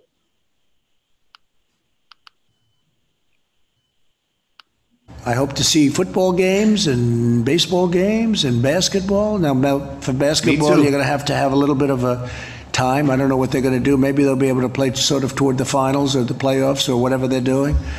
Uh, I saw baseball's doing something very unusual. I don't know. I don't know if I agree with that. I'd like to see the Yankees play at Yankee Stadium. I see they have some ideas for baseball that are very different. Uh, I guess I'm a traditionalist, but I think they'd be able to play at Yankee Stadium with uh, obviously smaller crowds, and then the crowds would start to build as things get to be a little bit uh, better. No crowds. But uh, no, I, I think you're going to see some uh, some big things happening. And again, this is going away. This is going away. I think we're going to come up with vaccines and all, but this is going away. And when it's gone, we're going to be doing a lot of things. Uh, and again, you have to look other areas. There are areas, you know, we all look at New York and we see New York and New Jersey and some of these very high density places where they're doing a very good job. It's just, you know, it's not easy. Uh, but you have areas that are really uh, at a very low point and, and really heading, I always say, heading south quickly. And that's what we want. So we'll see how it all works out. I think it's working very good. How about one more? Anybody? He looks really tired. Yeah, we really want things to head south quickly. That's like the most honest thing he said. He looks really, really tired. When he says that phrase, he's thinking about going to Mar-a-Lago. Yeah, it's like it's not it's not in Mar-a-Lago because it's not high density. Oh. Um, and uh, of course, in more good news, uh, it, he's he's it's going to be eradicated. This is number four. It's on the way. Don't worry about it. Without a vaccine, sir, why do you think the virus will just be gone? It's going to go. It's going to leave. It's going to be gone. It's going to be eradicated, uh, and uh, it might take longer. It might be in smaller sections. It, it'll be. It won't be what we- we had, and and we also learned a lot. Again, if you have a flare up in a certain area, if you have a, I call them burning embers. Boom. I we put it out. We know how to put it out now, but we put it out, and now we're equipped. Now we have more ventilators than anyone thought was possible. I don't know about that. I, you know, it's really interesting to watch the because Trump can go in both directions, but at the end of the day, he's obviously terrified about getting reelected and endlessly wants to bullshit up the economy. So he goes in the like, it's not such a big deal. I mean, you know, whatever. There's burning embers, but it's going to go away. Then you have the pandemic podcast with Steve Bannon, where these guys see an opportunity not only for reelection, but for like to exit the Kali Yuga and like look that up. That might actually be literal in mm-hmm. terms of like the, you know, sort of like right wing apocalyptic dimensions of that thinking. So it's, it, that's just the perfect Trump usually is able to circle in between all of these positions well in his own sort of like bullshitter intuitive way. But when it comes to the economy and everything being the best and everybody being out, and then obviously not one of the quotes I think was, I'm not losing a fucking Joe Biden. in that AP piece the the part of Trump like we're, we're there's no we're not talking any carnage on the streets. We're not talking about globalists. We're not like it's gonna be great. It's gonna go away. She's a great guy. Like it- we don't even hear Chinese virus anymore. This guy wants to tamp this down. Even the even the really you know even the dimensions of it that play to like Breitbart politics. He's freaked This, I'll give this one away for free to the Biden campaign, but they should be clipping everything where he says that it's just going to go away because when we have that second uh, infection, you know, surge after the shutdown and the soft reopening, like we're going to have seen that this entire shutdown, which was meant to scale up testing and create a chance for us to catch up and not have this problem again, it's going to be just as bad. And like he's doing nothing, and he's saying he's doing nothing. That it's just going to go away. So like this, it's it's exactly what he should be saying. Well, why would they do something so politically smart when they could just do more xenophobic fear mongering about China? If he stays losing to Biden, the meltdown is going to be It's going to be hilarious. That- that- unbelievable. that is actually the most Are you kidding me? entertaining scenario right now. The left won't even vote for him, and I'm losing Yeah, to. yeah. The left won't vote for him. He falls asleep, and I'm losing. This is totally unfair. the, the tantrums will be. You know what? If you want to look at this just on, if you if you've gone completely black pill on this, and you want a reason uh, among the obvious ones to vote to prevent a second Trump term, just look at aesthetically for a second. Oh. The comedy implications of that tantrum are Yeah. mwah, Yeah. chef's kiss. This guy will be on Twitter for years. Oh my God, it was stolen. It was unfair. He's going to sue his campaign staff. He'll he'll pro- he'll try he'll probably He's try going to like a- try to get people to revolt in an armed uprising, and then we'll see just how lazy all of his supporters really are. He will try to con- he will try to call a disconnected phone number from the 80s to like somebody in the Bonanno family to like see about Kushner. It is going to be awesome. Yeah. Really, the best reason to support Biden. It is absolutely the Oh yeah. Who okay, fine. Who he puts in positions of power, moderately di- better improvements to Trump, and also seeing Trump's meltdown. Uh, no, it's losing- it's it's DACA and meltdown. yeah, exactly. Yeah. Keep it Biden- simple. Biden doesn't deserve to win, but Trump definitely deserves to lose. But that Biden not deserving to win is what makes it so good. Yeah, that's what makes it actually so delicious because because Trump is Trump does have some good like 80s positivity thinking. Like he is the type of guy like if Bernie beat him, he would say like Bernie did what I did, except he had a better staff. My staff lied to me. Yeah, just I Reince Priebus But he had, but he respects, he respected Bernie on some level because Bernie had like actual energy and enthusiasm. And then even, and even, and, and honestly, even like if he lost to like someone like Harris, it's Trump. So he would be the first one to say, like, I mean, what are you going to do? It's history. First black woman, first black woman. It's history. It's history. Many, many people said I actually helped make that happen. It was time. But if it's Joe Biden, he's going like, that guy can't even stay awake on fucking Zoom. yeah. Oh my god. Oh, let's hope. Oh, To be that's fair, my brain also shuts down when listening to Hillary. Yeah. Yeah. I mean, I think that was actually the most relatable moment uh, post nomination uh, for sure. Uh, let's um let's listen to let's let's go to Fox and Friends. This is clip number six. They're really, really, really on the reopen beat, and it it's significant because I think Tucker is on the reopen beat too, and uh, at least to some extent.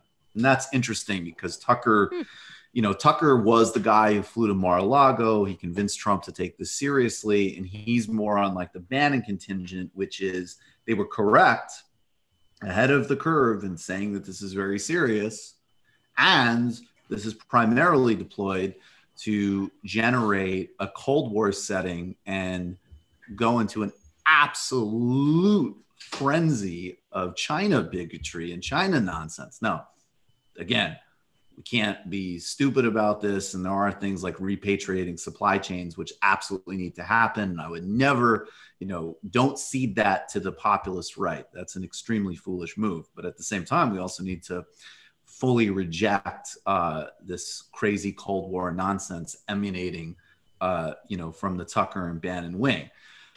That is the bigger picture.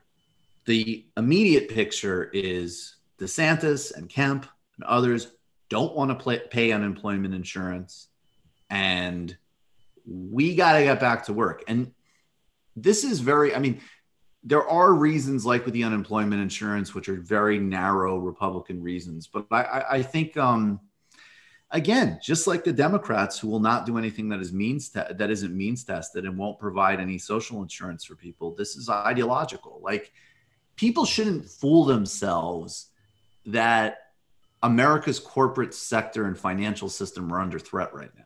They're not. They're safely bailed out. They have monopoly power. They're more consolidated now than they were before the crisis. Now, I'm not in any way, it's great that people are striking. It's great that politics are flowing.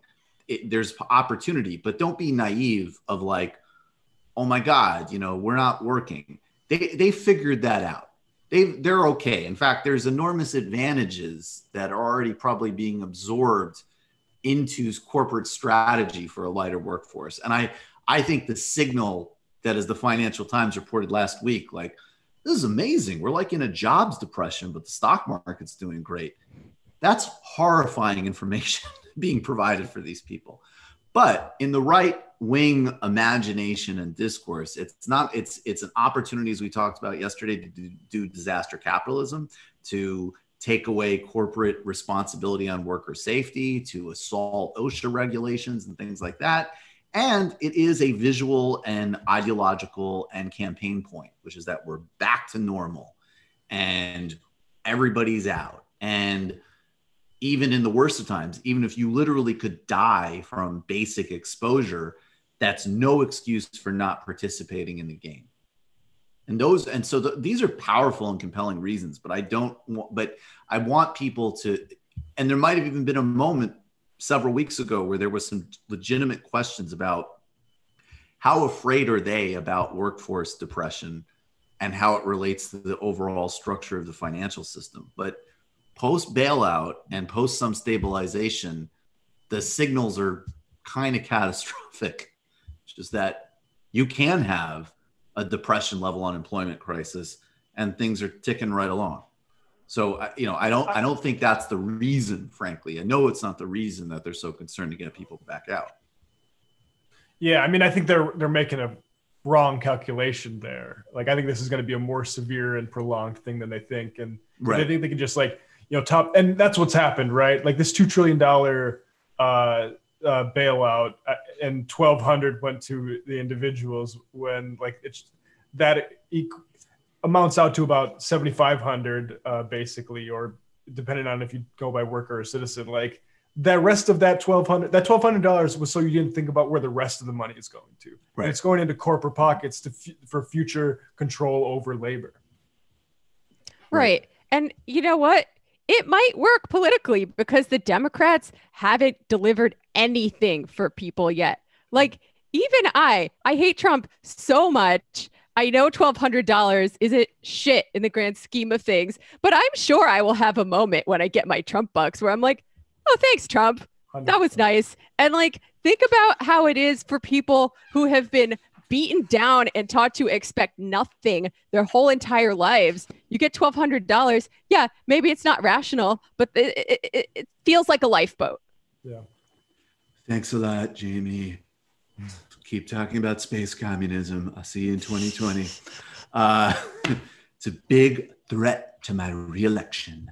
Um, well, everybody should remember, before, you know, like watching, watching people complain about Trump getting his signature on these. I mean, Schumer's on still envelope- on that. You saw Schumer. That was a smart thing to do. It was not only is it a smart thing to do, and not only is is, is Schumer's Schumer's politics are so myopic that it is actually horrifying. It's like it's it's so limited and narrow that it actually becomes extravagant in how demented it is. Like that he, this is even a worry at this moment. Uh, and sorry, Trump's 100% right.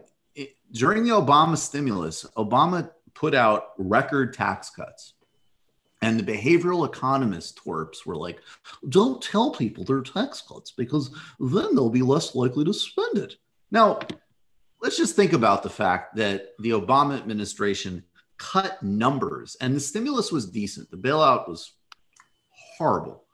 There were some good aspects of the Obama stimulus, but it was way smaller than it needed to be. That's a consensus.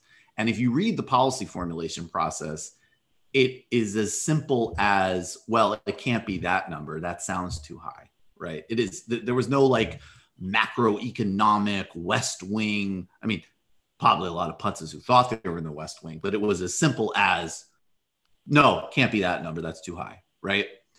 So they didn't just say we just need to have a massive stimulus because we're going to a serious depression, recession, right? They were already willing to compromise on the merits all over the place. But then on the flip side, when some behavioral economics twerps, which was the trendy thing at that point, with books like books like Nudge came in and said, if you tell people these are tax cuts, they will be more likely to hold the money than spend it. We need people out spending, which is of course the supply side, you know, argument. It's like, okay, well, that you take seriously.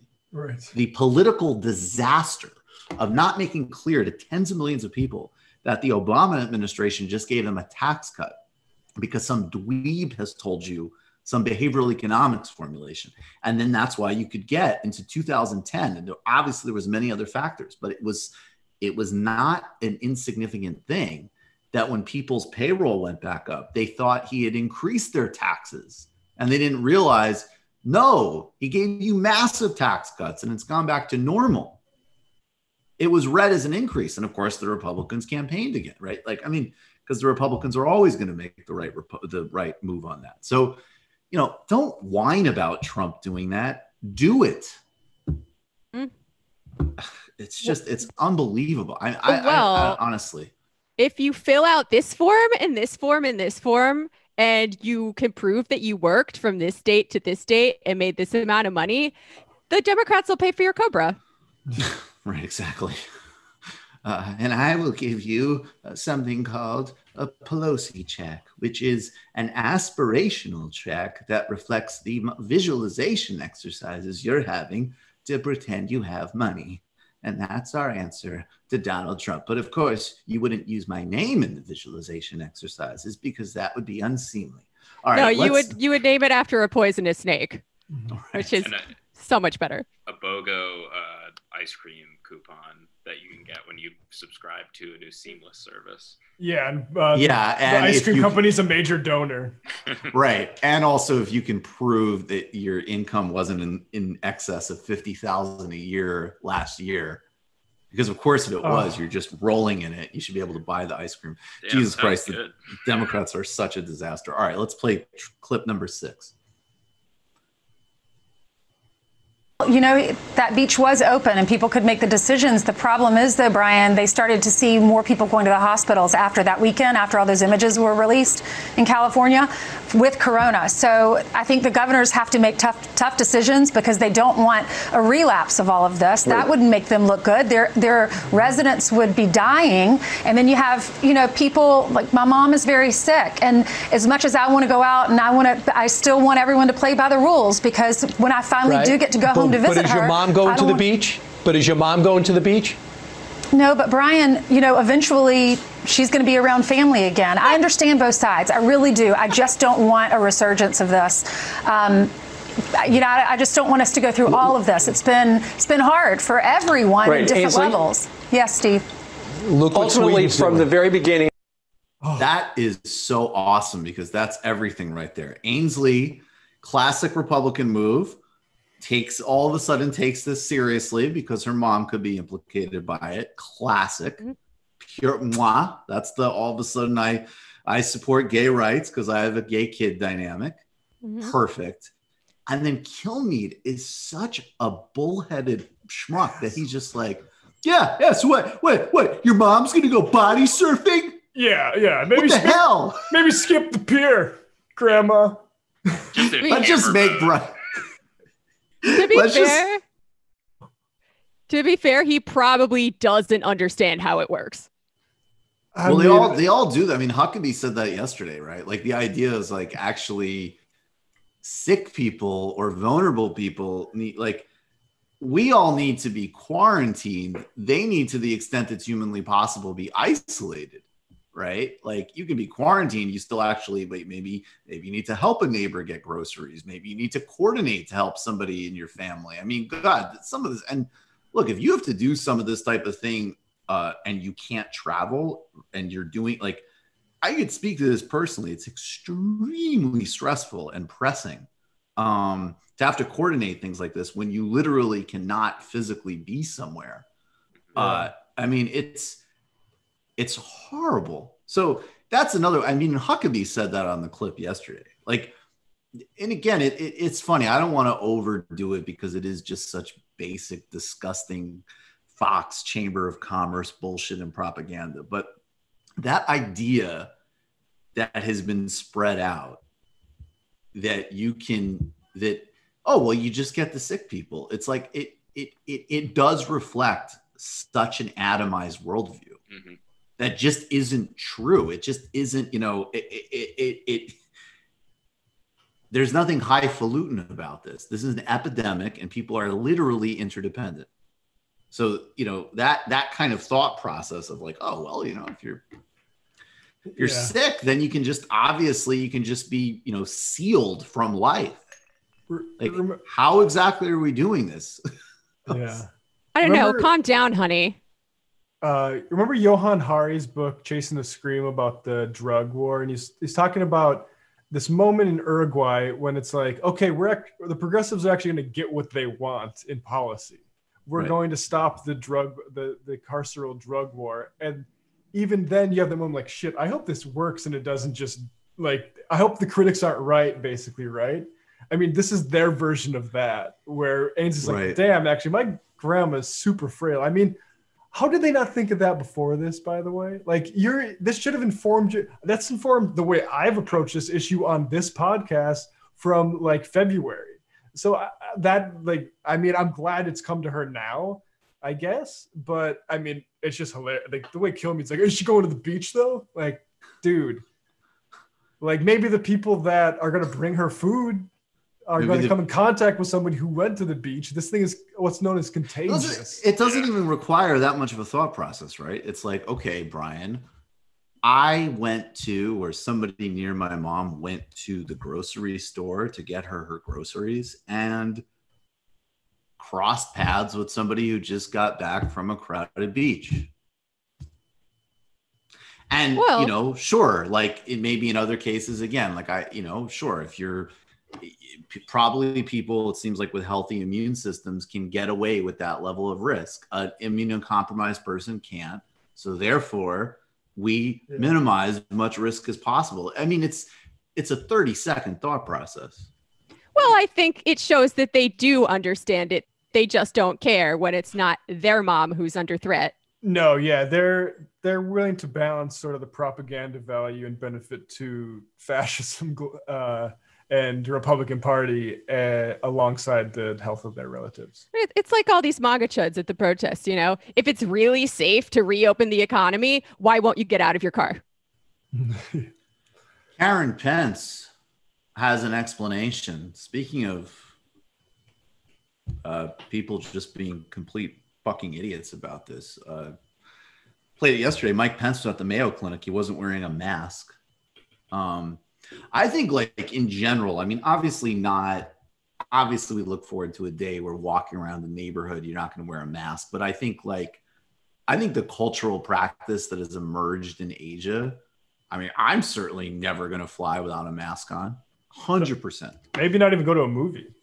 I mean, yeah, honestly, like it is going to be more part of our lives. And and you know, it was it was interesting. I was talking to somebody about that actually who had traveled to to Asia a year ago. And and they were like, "Yeah, you know, I didn't really think about it one way or another, but my just sort of bias or idea was that you know, people wear masks to protect themselves and you know, didn't have any judgment about it. Fair enough, you know but the, the, she was saying it's actually like no in in this context it's it's actually it's it's you're doing it for other people same way reason we're prescribed to do it it's actually considered just proper social etiquette for other people's well-being uh, that you wear a mask um, in mass public transport and or flying on airplanes or whatever and i i mean look I, I i think it's a no-brainer i mean it's one of those things that you just think like why haven't we incorporated this practice for flying before? It's so obvious. And part of the obvious, you know, yeah. I was just gonna say, like in the times we've flown for TMBS live shows, almost every time I fly, like I feel like I come down with something. And then if you Right. look at the graphics of how germs spread through planes, I mean, it makes a whole lot of sense actually. Whole lot of sense. And I I mean, it's it's kind of a mind fuck for me because there is something very uh kind of individualizing or neoliberal even about saying the onus is on the individual to do their part, wear a mask, blah blah blah. But but when that rises to the level of culture and you can change the culture of a society and convince people to care for others, that is the opposite of neoliberalism. Totally, and that's what Pence is failing to do, and he—that's why he Right. didn't wear the mask, is because he That's doesn't why- want to send that cultural signal that we should be wearing masks because that's cuck stuff or whatever the repo- right wing thinks about it. no, I mean this stuff is I mean it's it's it's uh yeah, this this is like when people started to, you know, and political leaders would take an AIDS test. Like Mhm. that was a signal like you can't relegate this or you can't have homophobia dictate how you look at this disease. Um so yeah, it's it's really important. I would actually just say like look, again, I think another dialectic is obviously individual and social and both things are real. The, the real neoliberal problem and the real despicable thing we saw in New York was Andrew Cuomo saying everybody needs to do it and you're like, "Okay, Andrew, how are we getting it to everybody?" Exactly. That is the yeah. neo. And the other, and by the way, the other structural problem is, uh, look, we should wear these things on planes, uh, no doubt. I also have no doubt that the airline industry is uh, cuts corners and is disgusting and totally doesn't properly clean things. so that's another thing uh, that we need to look at regulatorily uh, as well. But Um, uh, this is yeah, Can I just preface? I want to say before I bought this this Pence clip. I can't remember her name, Mrs. Karen Pence. Karen Pence. mother. Uh, just know that she's lying. It's I, I think it's more interesting to to watch a liar when you know that they're lying. Um, so just know that she's lying about this because the uh, Mayo Clinic told them beforehand that masks are protocol. I mean, fucking obviously, Yeah. right? It's a hospital. They just But deleted anyway. the tweet that Yeah. they said that they told them. So just that's good, important context. Know that this good Christian woman who follows Mike Pence to every like, dinner meeting he has with another woman, right? This whatever they're um, Or so they image is. claim. Yeah, she's They a are liar. a couple of liars. She is a liar. Like she's Yeah. lying, lying Karen. Oh, Lying she's, her name's Karen. Karen. Lion, lying Karen. folks. Lion mother. Lion mother. To that, I do have to ask you about your husband not wearing the mask when he was touring the Mayo Clinic. Why wasn't he wearing one? That's a great question. I'm glad that you asked me. Um, first of all, it was a great visit to Mayo. They're doing amazing research with uh, the blood from recovering COVID 19 patients. And as our medical experts have told us, uh, wearing a mask prevents you from spreading the disease. And knowing that he doesn't have COVID 19, uh, he didn't wear one. It was actually after he left Mayo Clinic that he found out that they had a policy of asking everyone to wear a mask. So, you know, someone who's worked on this uh, this whole uh, task force for over two months is not someone who would have done anything to offend anyone or or hurt anyone or scare anyone. So, um, I'm glad you gave me the opportunity to talk about that. Well, thank you for coming on. yeah, who he didn't want to offend was Republicans who think masks are lame. Yeah, exactly. There like was con- one specific group you didn't want to offend. The masks are for pussies Exactly. contingent. Yes, Showing exactly. strength. Yes, and we will put people's health and well-being at risk. I mean, that's it's also just visually, it is so. I, I understand. I think actually, I mean, visually, they wanted to to register as he's so fucking strong that look at all these other people, including security people, wearing it, but it just looks ridiculous. It looks like Oh, it looks like a 12 year old who's like insisting on not wearing his seatbelt. Yeah, It's like, okay, Mike, we get it. Whatever. Wait, do you Stop being this? a fucking idiot. Hold on. Are we I need to bring this picture into the uh okay. One second. Sorry. I, I I think a lot of people might remember this photo of uh Mike Pence's trip to NASA. Um, if not here, let me just share the screen in two seconds. He did not wear a space helmet. And uh, here's what it looks like. Um, so critical space flight. Do not touch. Oh yeah, Wow. That's so alpha, man. yeah. Add it to the pantheon. Also, like Trump staring directly into the sun. directly into the sun. Yeah. Well, it was cool when he did that. First of all, That was actually also pretty have cool. done that. I've done that exact. I did. I think I did that that day, even after Trump did it. Wow. You got to be able to see What- some of it, right? You want to prove that you want to prove that you're tougher than Trump. I'm like, I want to know. I mean, how many how many times can you say like I can experience something the president of the United States experienced earlier today, which is my retinas being Wow. That's that's uh, quite the flex, Matt. Apparently, uh, Pence wore a mask today, four minutes ago, in uh, at another lame. Yeah, he's rhino, Globalist cock. What a rhino! soy boy. Rhino, soy boy, globalist cock. Covering up his rhino horn, probably. Why don't you have a lunch of tofu with that? some, some French fries. uh, all right. Well, so we're we're headed by a death cult, uh, and America's a third world country with a Gucci belt. Let's go check out the most embarrassing, ineffective opposition party in modern uh, liberal democratic history. Jim Cramer is talking with Nancy Pelosi. Now, Jim Cramer actually, I believe, before he got into the stock game, uh, was a young member, I think, of the Spartacus Society. He he had a Marxist phase in college. So even though he's been pumping stocks and being an apologist for the capitalist system for decades, um, there is a small part of Jim, I guess, that still has some materialist concerns. Now, there is no part of Nancy Pelosi that still has those concerns. Check out this exchange on CNBC. This this is actually really, I mean, this this is just appalling on every level.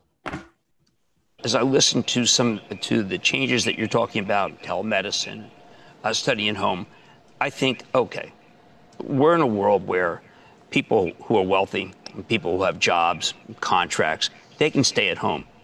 I see another world. I see the possibility of two societies developing. Society that has to be out there every day, in the masses, subways, risking themselves. And then this other group of people who are safe at home with all sorts of computers, very rich, a society that is not what you and I want to see. How do we prevent that? Well, let us do it all together. This is a moment of truth for our country about who we are. What is the humanity of America? Uh, we wanted to support the small businesses. They are the vitality of our economy, the dreams that people have, uh, the entrepreneurship, the risk they're willing to take for an idea. And so that's why we all gathered uh, and wrote the PPP uh, for that, so that we can try to reach as many people as possible uh, for their jobs and their businesses.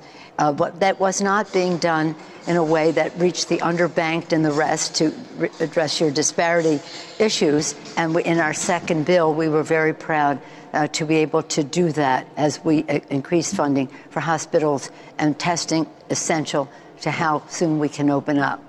But the, uh, if you gave everyone in America, every child in America, uh, a laptop, he or she may still not have access, or seniors or anyone, but think about the kids in school and the rest, if they don't have service. So one of the things we'd like to see and as we go forward is that we will have funding for uh, broadband, uh, always on, high speed, all over America. Because kids now, even if they have a laptop, they can't even go to a library or a school or a, uh, uh, cafe or any place in order to um, uh, to have access uh, to the network. So that is a big that digital divide is now becoming a digital chasm, and we have to really address that.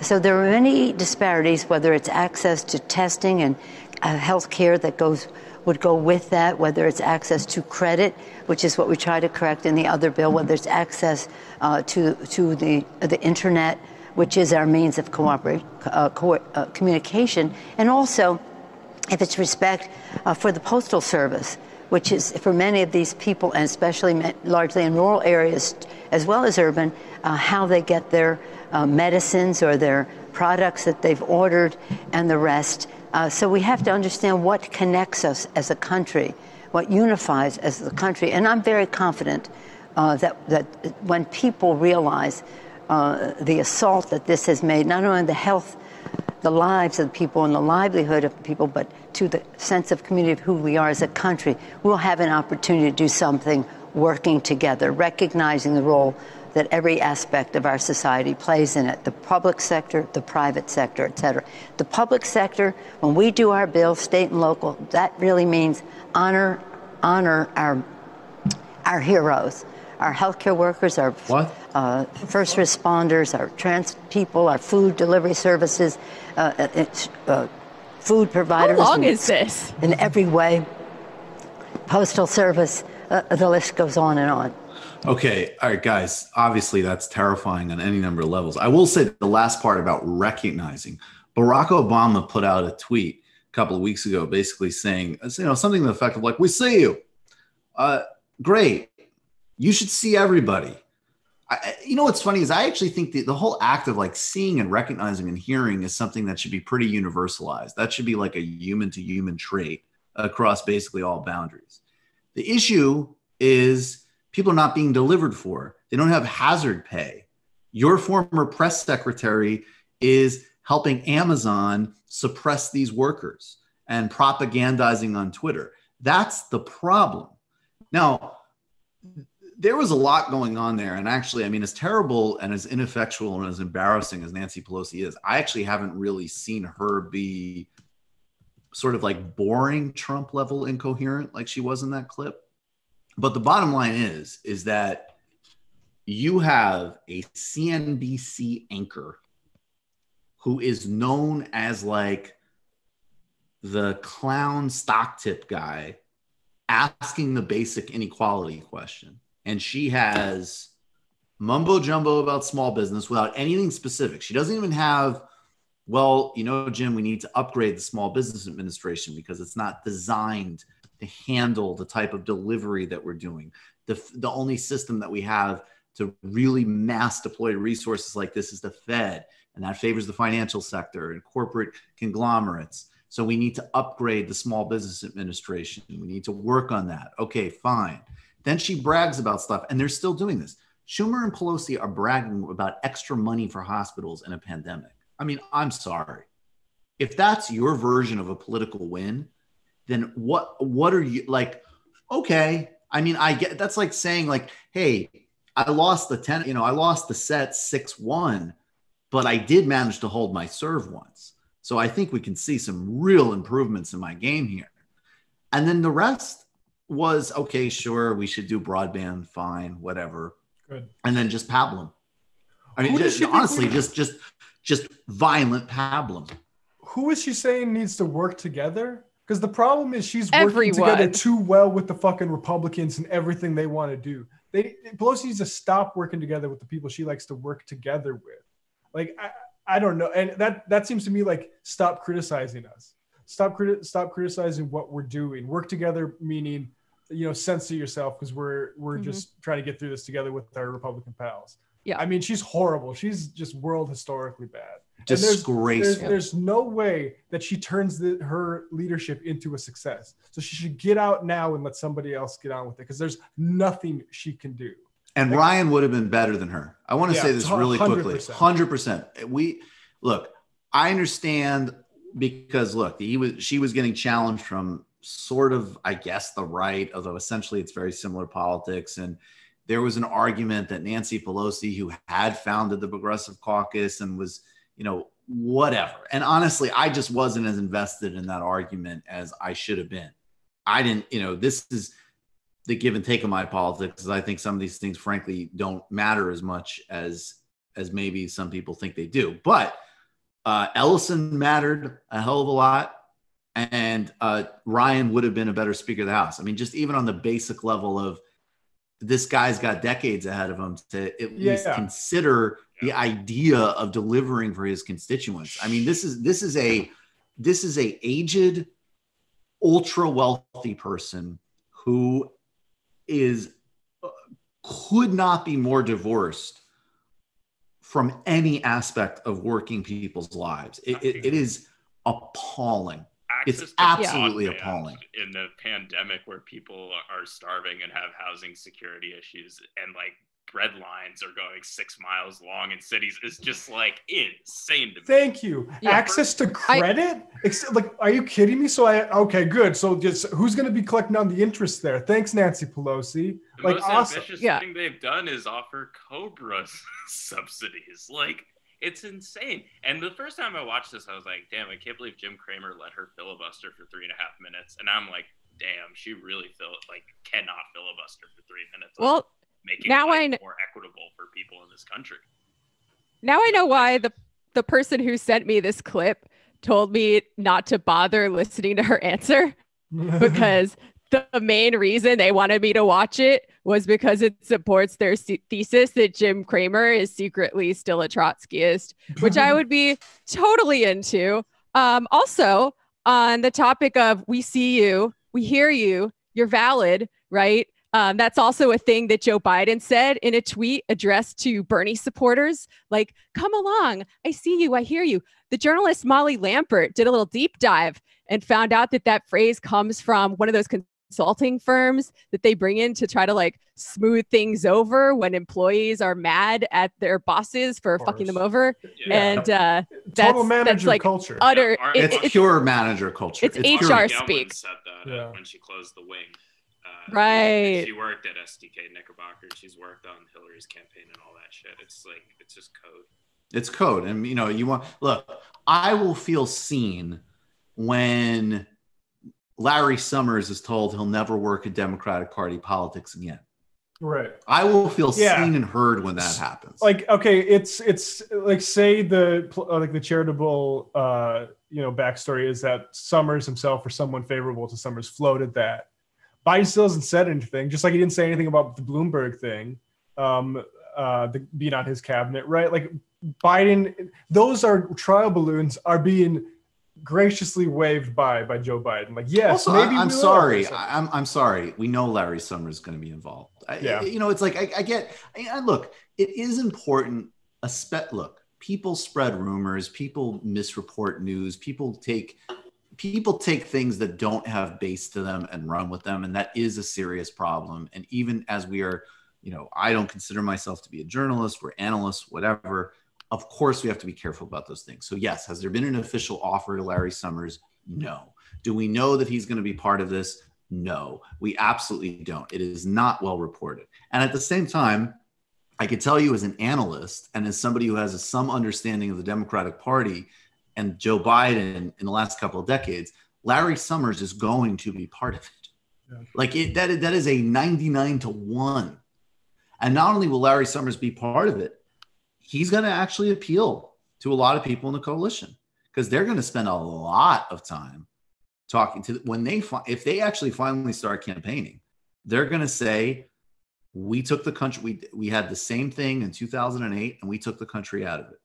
And that is going again that the demos that they're frankly most interested in that message will appeal to. So we shouldn't be naive about its efficacy. But like yes that that's what i'm trying to say. There's a dialectic. The larry summers story is weekly reported and we don't know. And i will also tell you larry summers is absolutely going to be involved in economic formulation of the joe biden campaign administration. If you think otherwise i don't. And and if he isn't it is not because of any any ethical or ideological or anything. It is because larry summers is so personally annoying and abrasive that he has annoyed enough people in the campaign trust that they're going to go with somebody else to do the same thing. By the way, it's the same reason. I mean, Summers was part of the Obama administration. Geithner was way less prestigious, but he got Treasury because he's not as fucking annoying as Summers. And things being as they are, Larry Summers was actually better in the context of the Obama administration than Geithner, who is one of the biggest low key villains of the last uh, 15, 20 years. I mean, just just truly horrible, even down to his uh, his post administration work. But anyways, being that as it may, uh, another great Democratic hero, Andrew Cuomo. Now, this is this, is so perfect. good. This, This is is- amazing. This is amazing because Andrew Cuomo just look, Joe Biden and the people around, like Joe Biden is a right wing Democrat, and it is not, and there are ideological oppositions to things like Medicare for all, no question. That being said, uh, Joe Biden uh, and and uh, other people in the National Democratic Party, there is there is a little bit more truth, I think, to the idea that given conditions, just like even the Obama stimulus, there's some progressive stuff in it.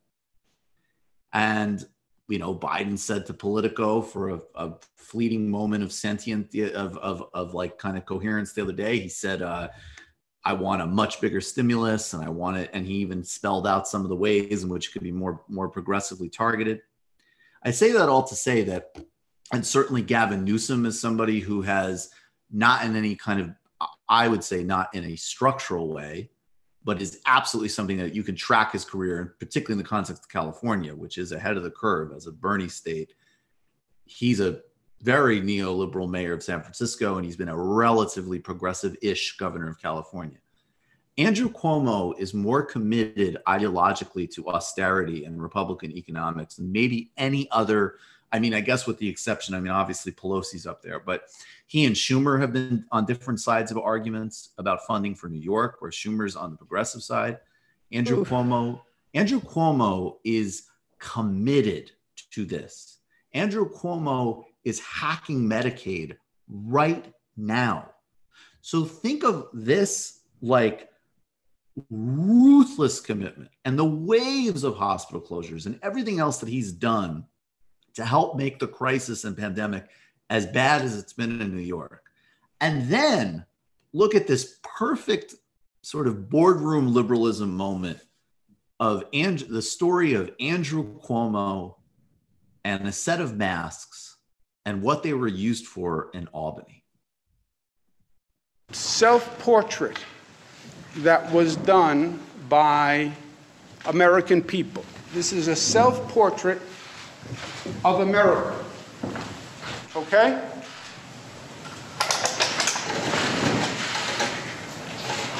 That's a self portrait of America.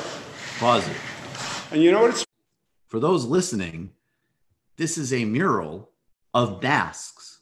So the same guy, and I saw, and I look, I found this disturbing as hell. I think every time I see somebody walking on the street without a mask, I do think, what the fuck? The other day, I saw some guy walking on a mask and an NYPD pull up beside him and say, Where's your mask? And I was terrified that that's happening.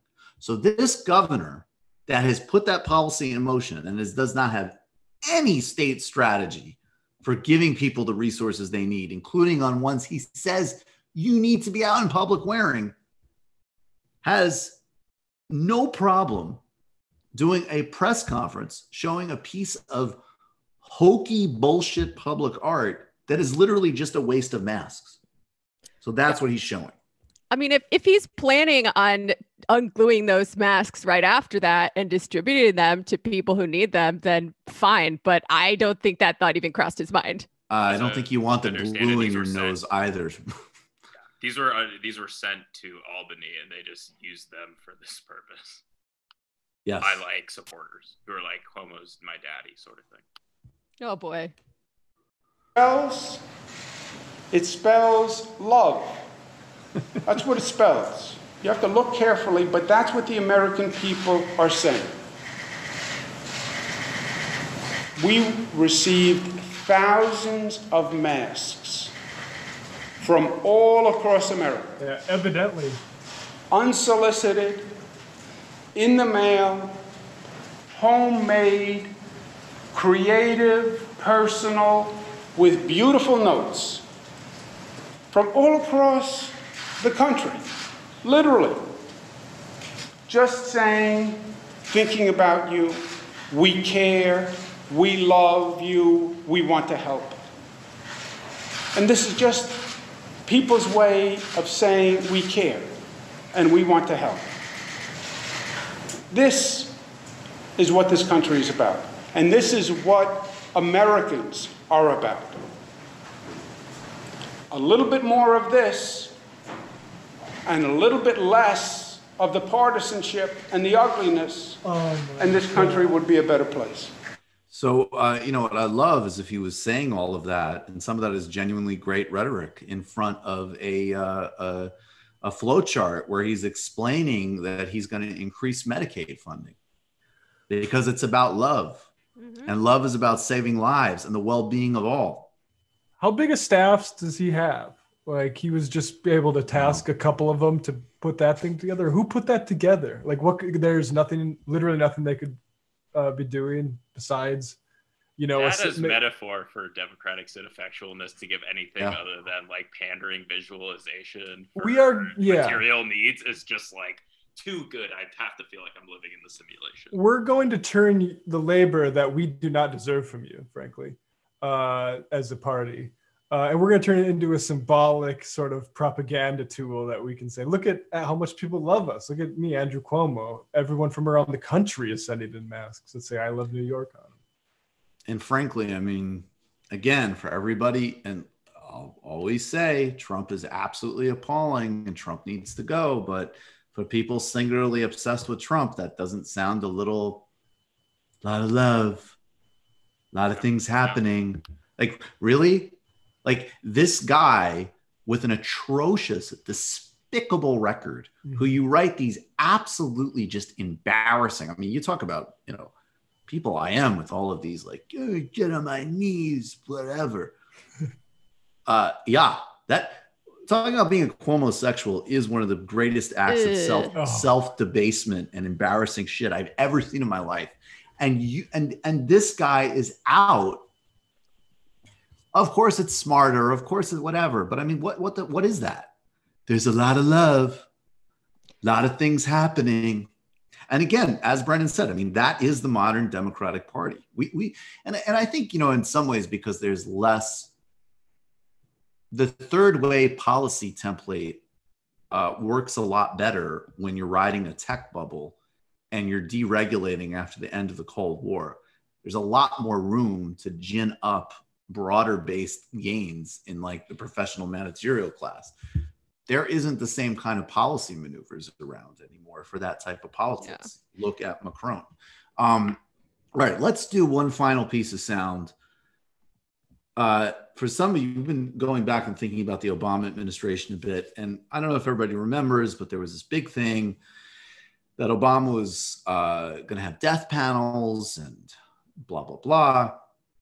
And, um, you know, again, the proper left answer is that private insurance is a form of death panel in and of itself, literally a parasite industry that is trying to leverage uh, basically selling you a product and then not providing those products and services to you. Yeah, their decision, Uh, the, the panel's decision in that case is easy. Do you have money to pay us? Yes. Oh, you get to live. No, you die. There's the death panel. Right. And even if you do, uh, you're probably going to go in debt for life. And yes, and a lot of those death panels are not even, I mean, the big melodrama with Obama's is going to be some, you know, some group of evil doctors. Uh, that those death panels are more like you're calling customer service and somebody who probably could barely afford a healthcare themselves is telling you, no, your kid's going to die. So yes, there are tons of death panels. I will say though, to to be fair, as they say, I believe Zeke Emanuel, was Rahm Emanuel's doctor brother, was somebody that the right wing was very fixated on back then. And uh, he has actually himself said in the last couple of weeks that we need to question the value of life above a certain age. So maybe psychologically, uh, they were intuiting something correct about the mindset of these people. And, uh, but of course, it's coming from the right.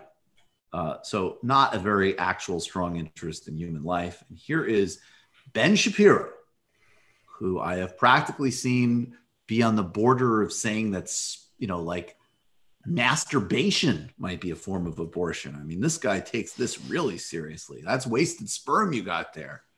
Here he is with Dave Rubin. Oh, with maybe a Trying little bit of a different perspective on the Yeah. sanctity of all life. Has he got a booster seat? He does. He does have it. Definitely looks like uh, there's something going on there. Very Trying to- appealing looking. balance Two the canes. risks and rewards here is a difficult thing. The easiest thing you can do is say all damages caused are caused by the pandemic.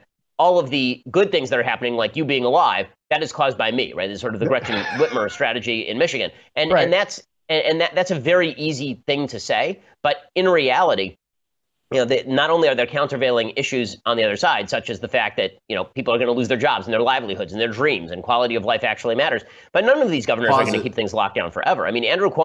Sorry, I'm sorry. This is a small point. I think we're all guilty of this sometimes, but countervailing forces on the other side is like a great filler of pseudo intellectualism. He made an actual point there when he's like talking about people losing their jobs and the economic consequences and so forth. And obviously, that would be solved if we just gave everybody health care and UBI. But do you see how that's like a very intuitive point? There's nothing novel about what he's saying, and everybody has observed this across the spectrum. But when you say countervailing forces, that gives you like a patina of you're saying something that's actually new and insightful when you absolutely are not. Well, there's like four syllables in that word. right. And quality of life actually matters. But none of these governors are going to keep things locked down forever. I mean, Andrew Cuomo, when he said just save one life, five days later, he's saying we're going to open up parts of, of New York State. Okay, so which is it? I mean, obviously that means that more people are going to be infected. So you we're always going to make this public policy consideration. Nobody just wants to say the obvious truth, which is that we're all making actuarial deductions about what are the costs in terms of how many human lives, how many how many years of life, because that is an actual issue in actuarial tables, right? If, if somebody who is 81 dies of COVID 19, that is not the same thing as somebody who is 30 dying of COVID 19. I mean, if this were killing children, everyone would be in for lockdown forever. That's the reality, right? If a bunch of five year olds were dying of COVID 19 and, and people were saying get back to work, everybody like, nope, I'm not letting my five year old die. If grandma Right. dies in a nursing home at age 81, that's tragic and it's terrible. Also, the life expectancy in the United States is 80. So that, that is not the same thing. In, in moral terms, you want to save every life you can. At the same time, to pretend that it is of the same it is the same calculation. The age of the person, n- no public policy acts like that. Not a single public policy in American life acts like that. Well, look, I mean, again, I, this is actually a good case, though, of if you're only working against the Andrew Cuomo's of the world, you have a lot of material here because it is true that everybody's making calculations like that to some extent. And it is true that if you don't just say, basically, look, if you need to be out working, we're going to treat you incredibly. We're going to quadruple your salary. We're going to give you every protection imaginable. Everybody, and it's going to be federally mandated at severe punishment that Amazon or Target or UPS or you know or FedEx or anybody else who gets an inch out of line will face the most punitive, vicious consequences. Everybody's getting everything they need, and everybody else, if you can work from home, a lot of people can. That's fantastic, but it's if not you're gonna, you know, look, it's gonna be interesting. Cool your jets for a year. Here's a couple grand a month. Don't worry about rent. And that's it. I mean, literally, this is no problem. And then, yes, there's macroeconomic questions about, and then several months or a year in, how do you start to open up? How do you balance that with civil liberties? How do you, what are the longer term economic changes with different social habits? Yes, these are big and serious questions. But the choice of rushing a reopening is only created because of austerity policies. And of course, we can talk. I mean, the hypocrisy is obvious. And there was all this right wing fear mongering about death panels. And now it's like a consensus right wing position to sacrifice grandma's life. However, or you know, risk sacrifice unless you're unless you're Ainsley. That being said, if the only argument on the other side is let's just prolong the lockdown without any social strategy, that argument, as despicable as it is, is going to have hay.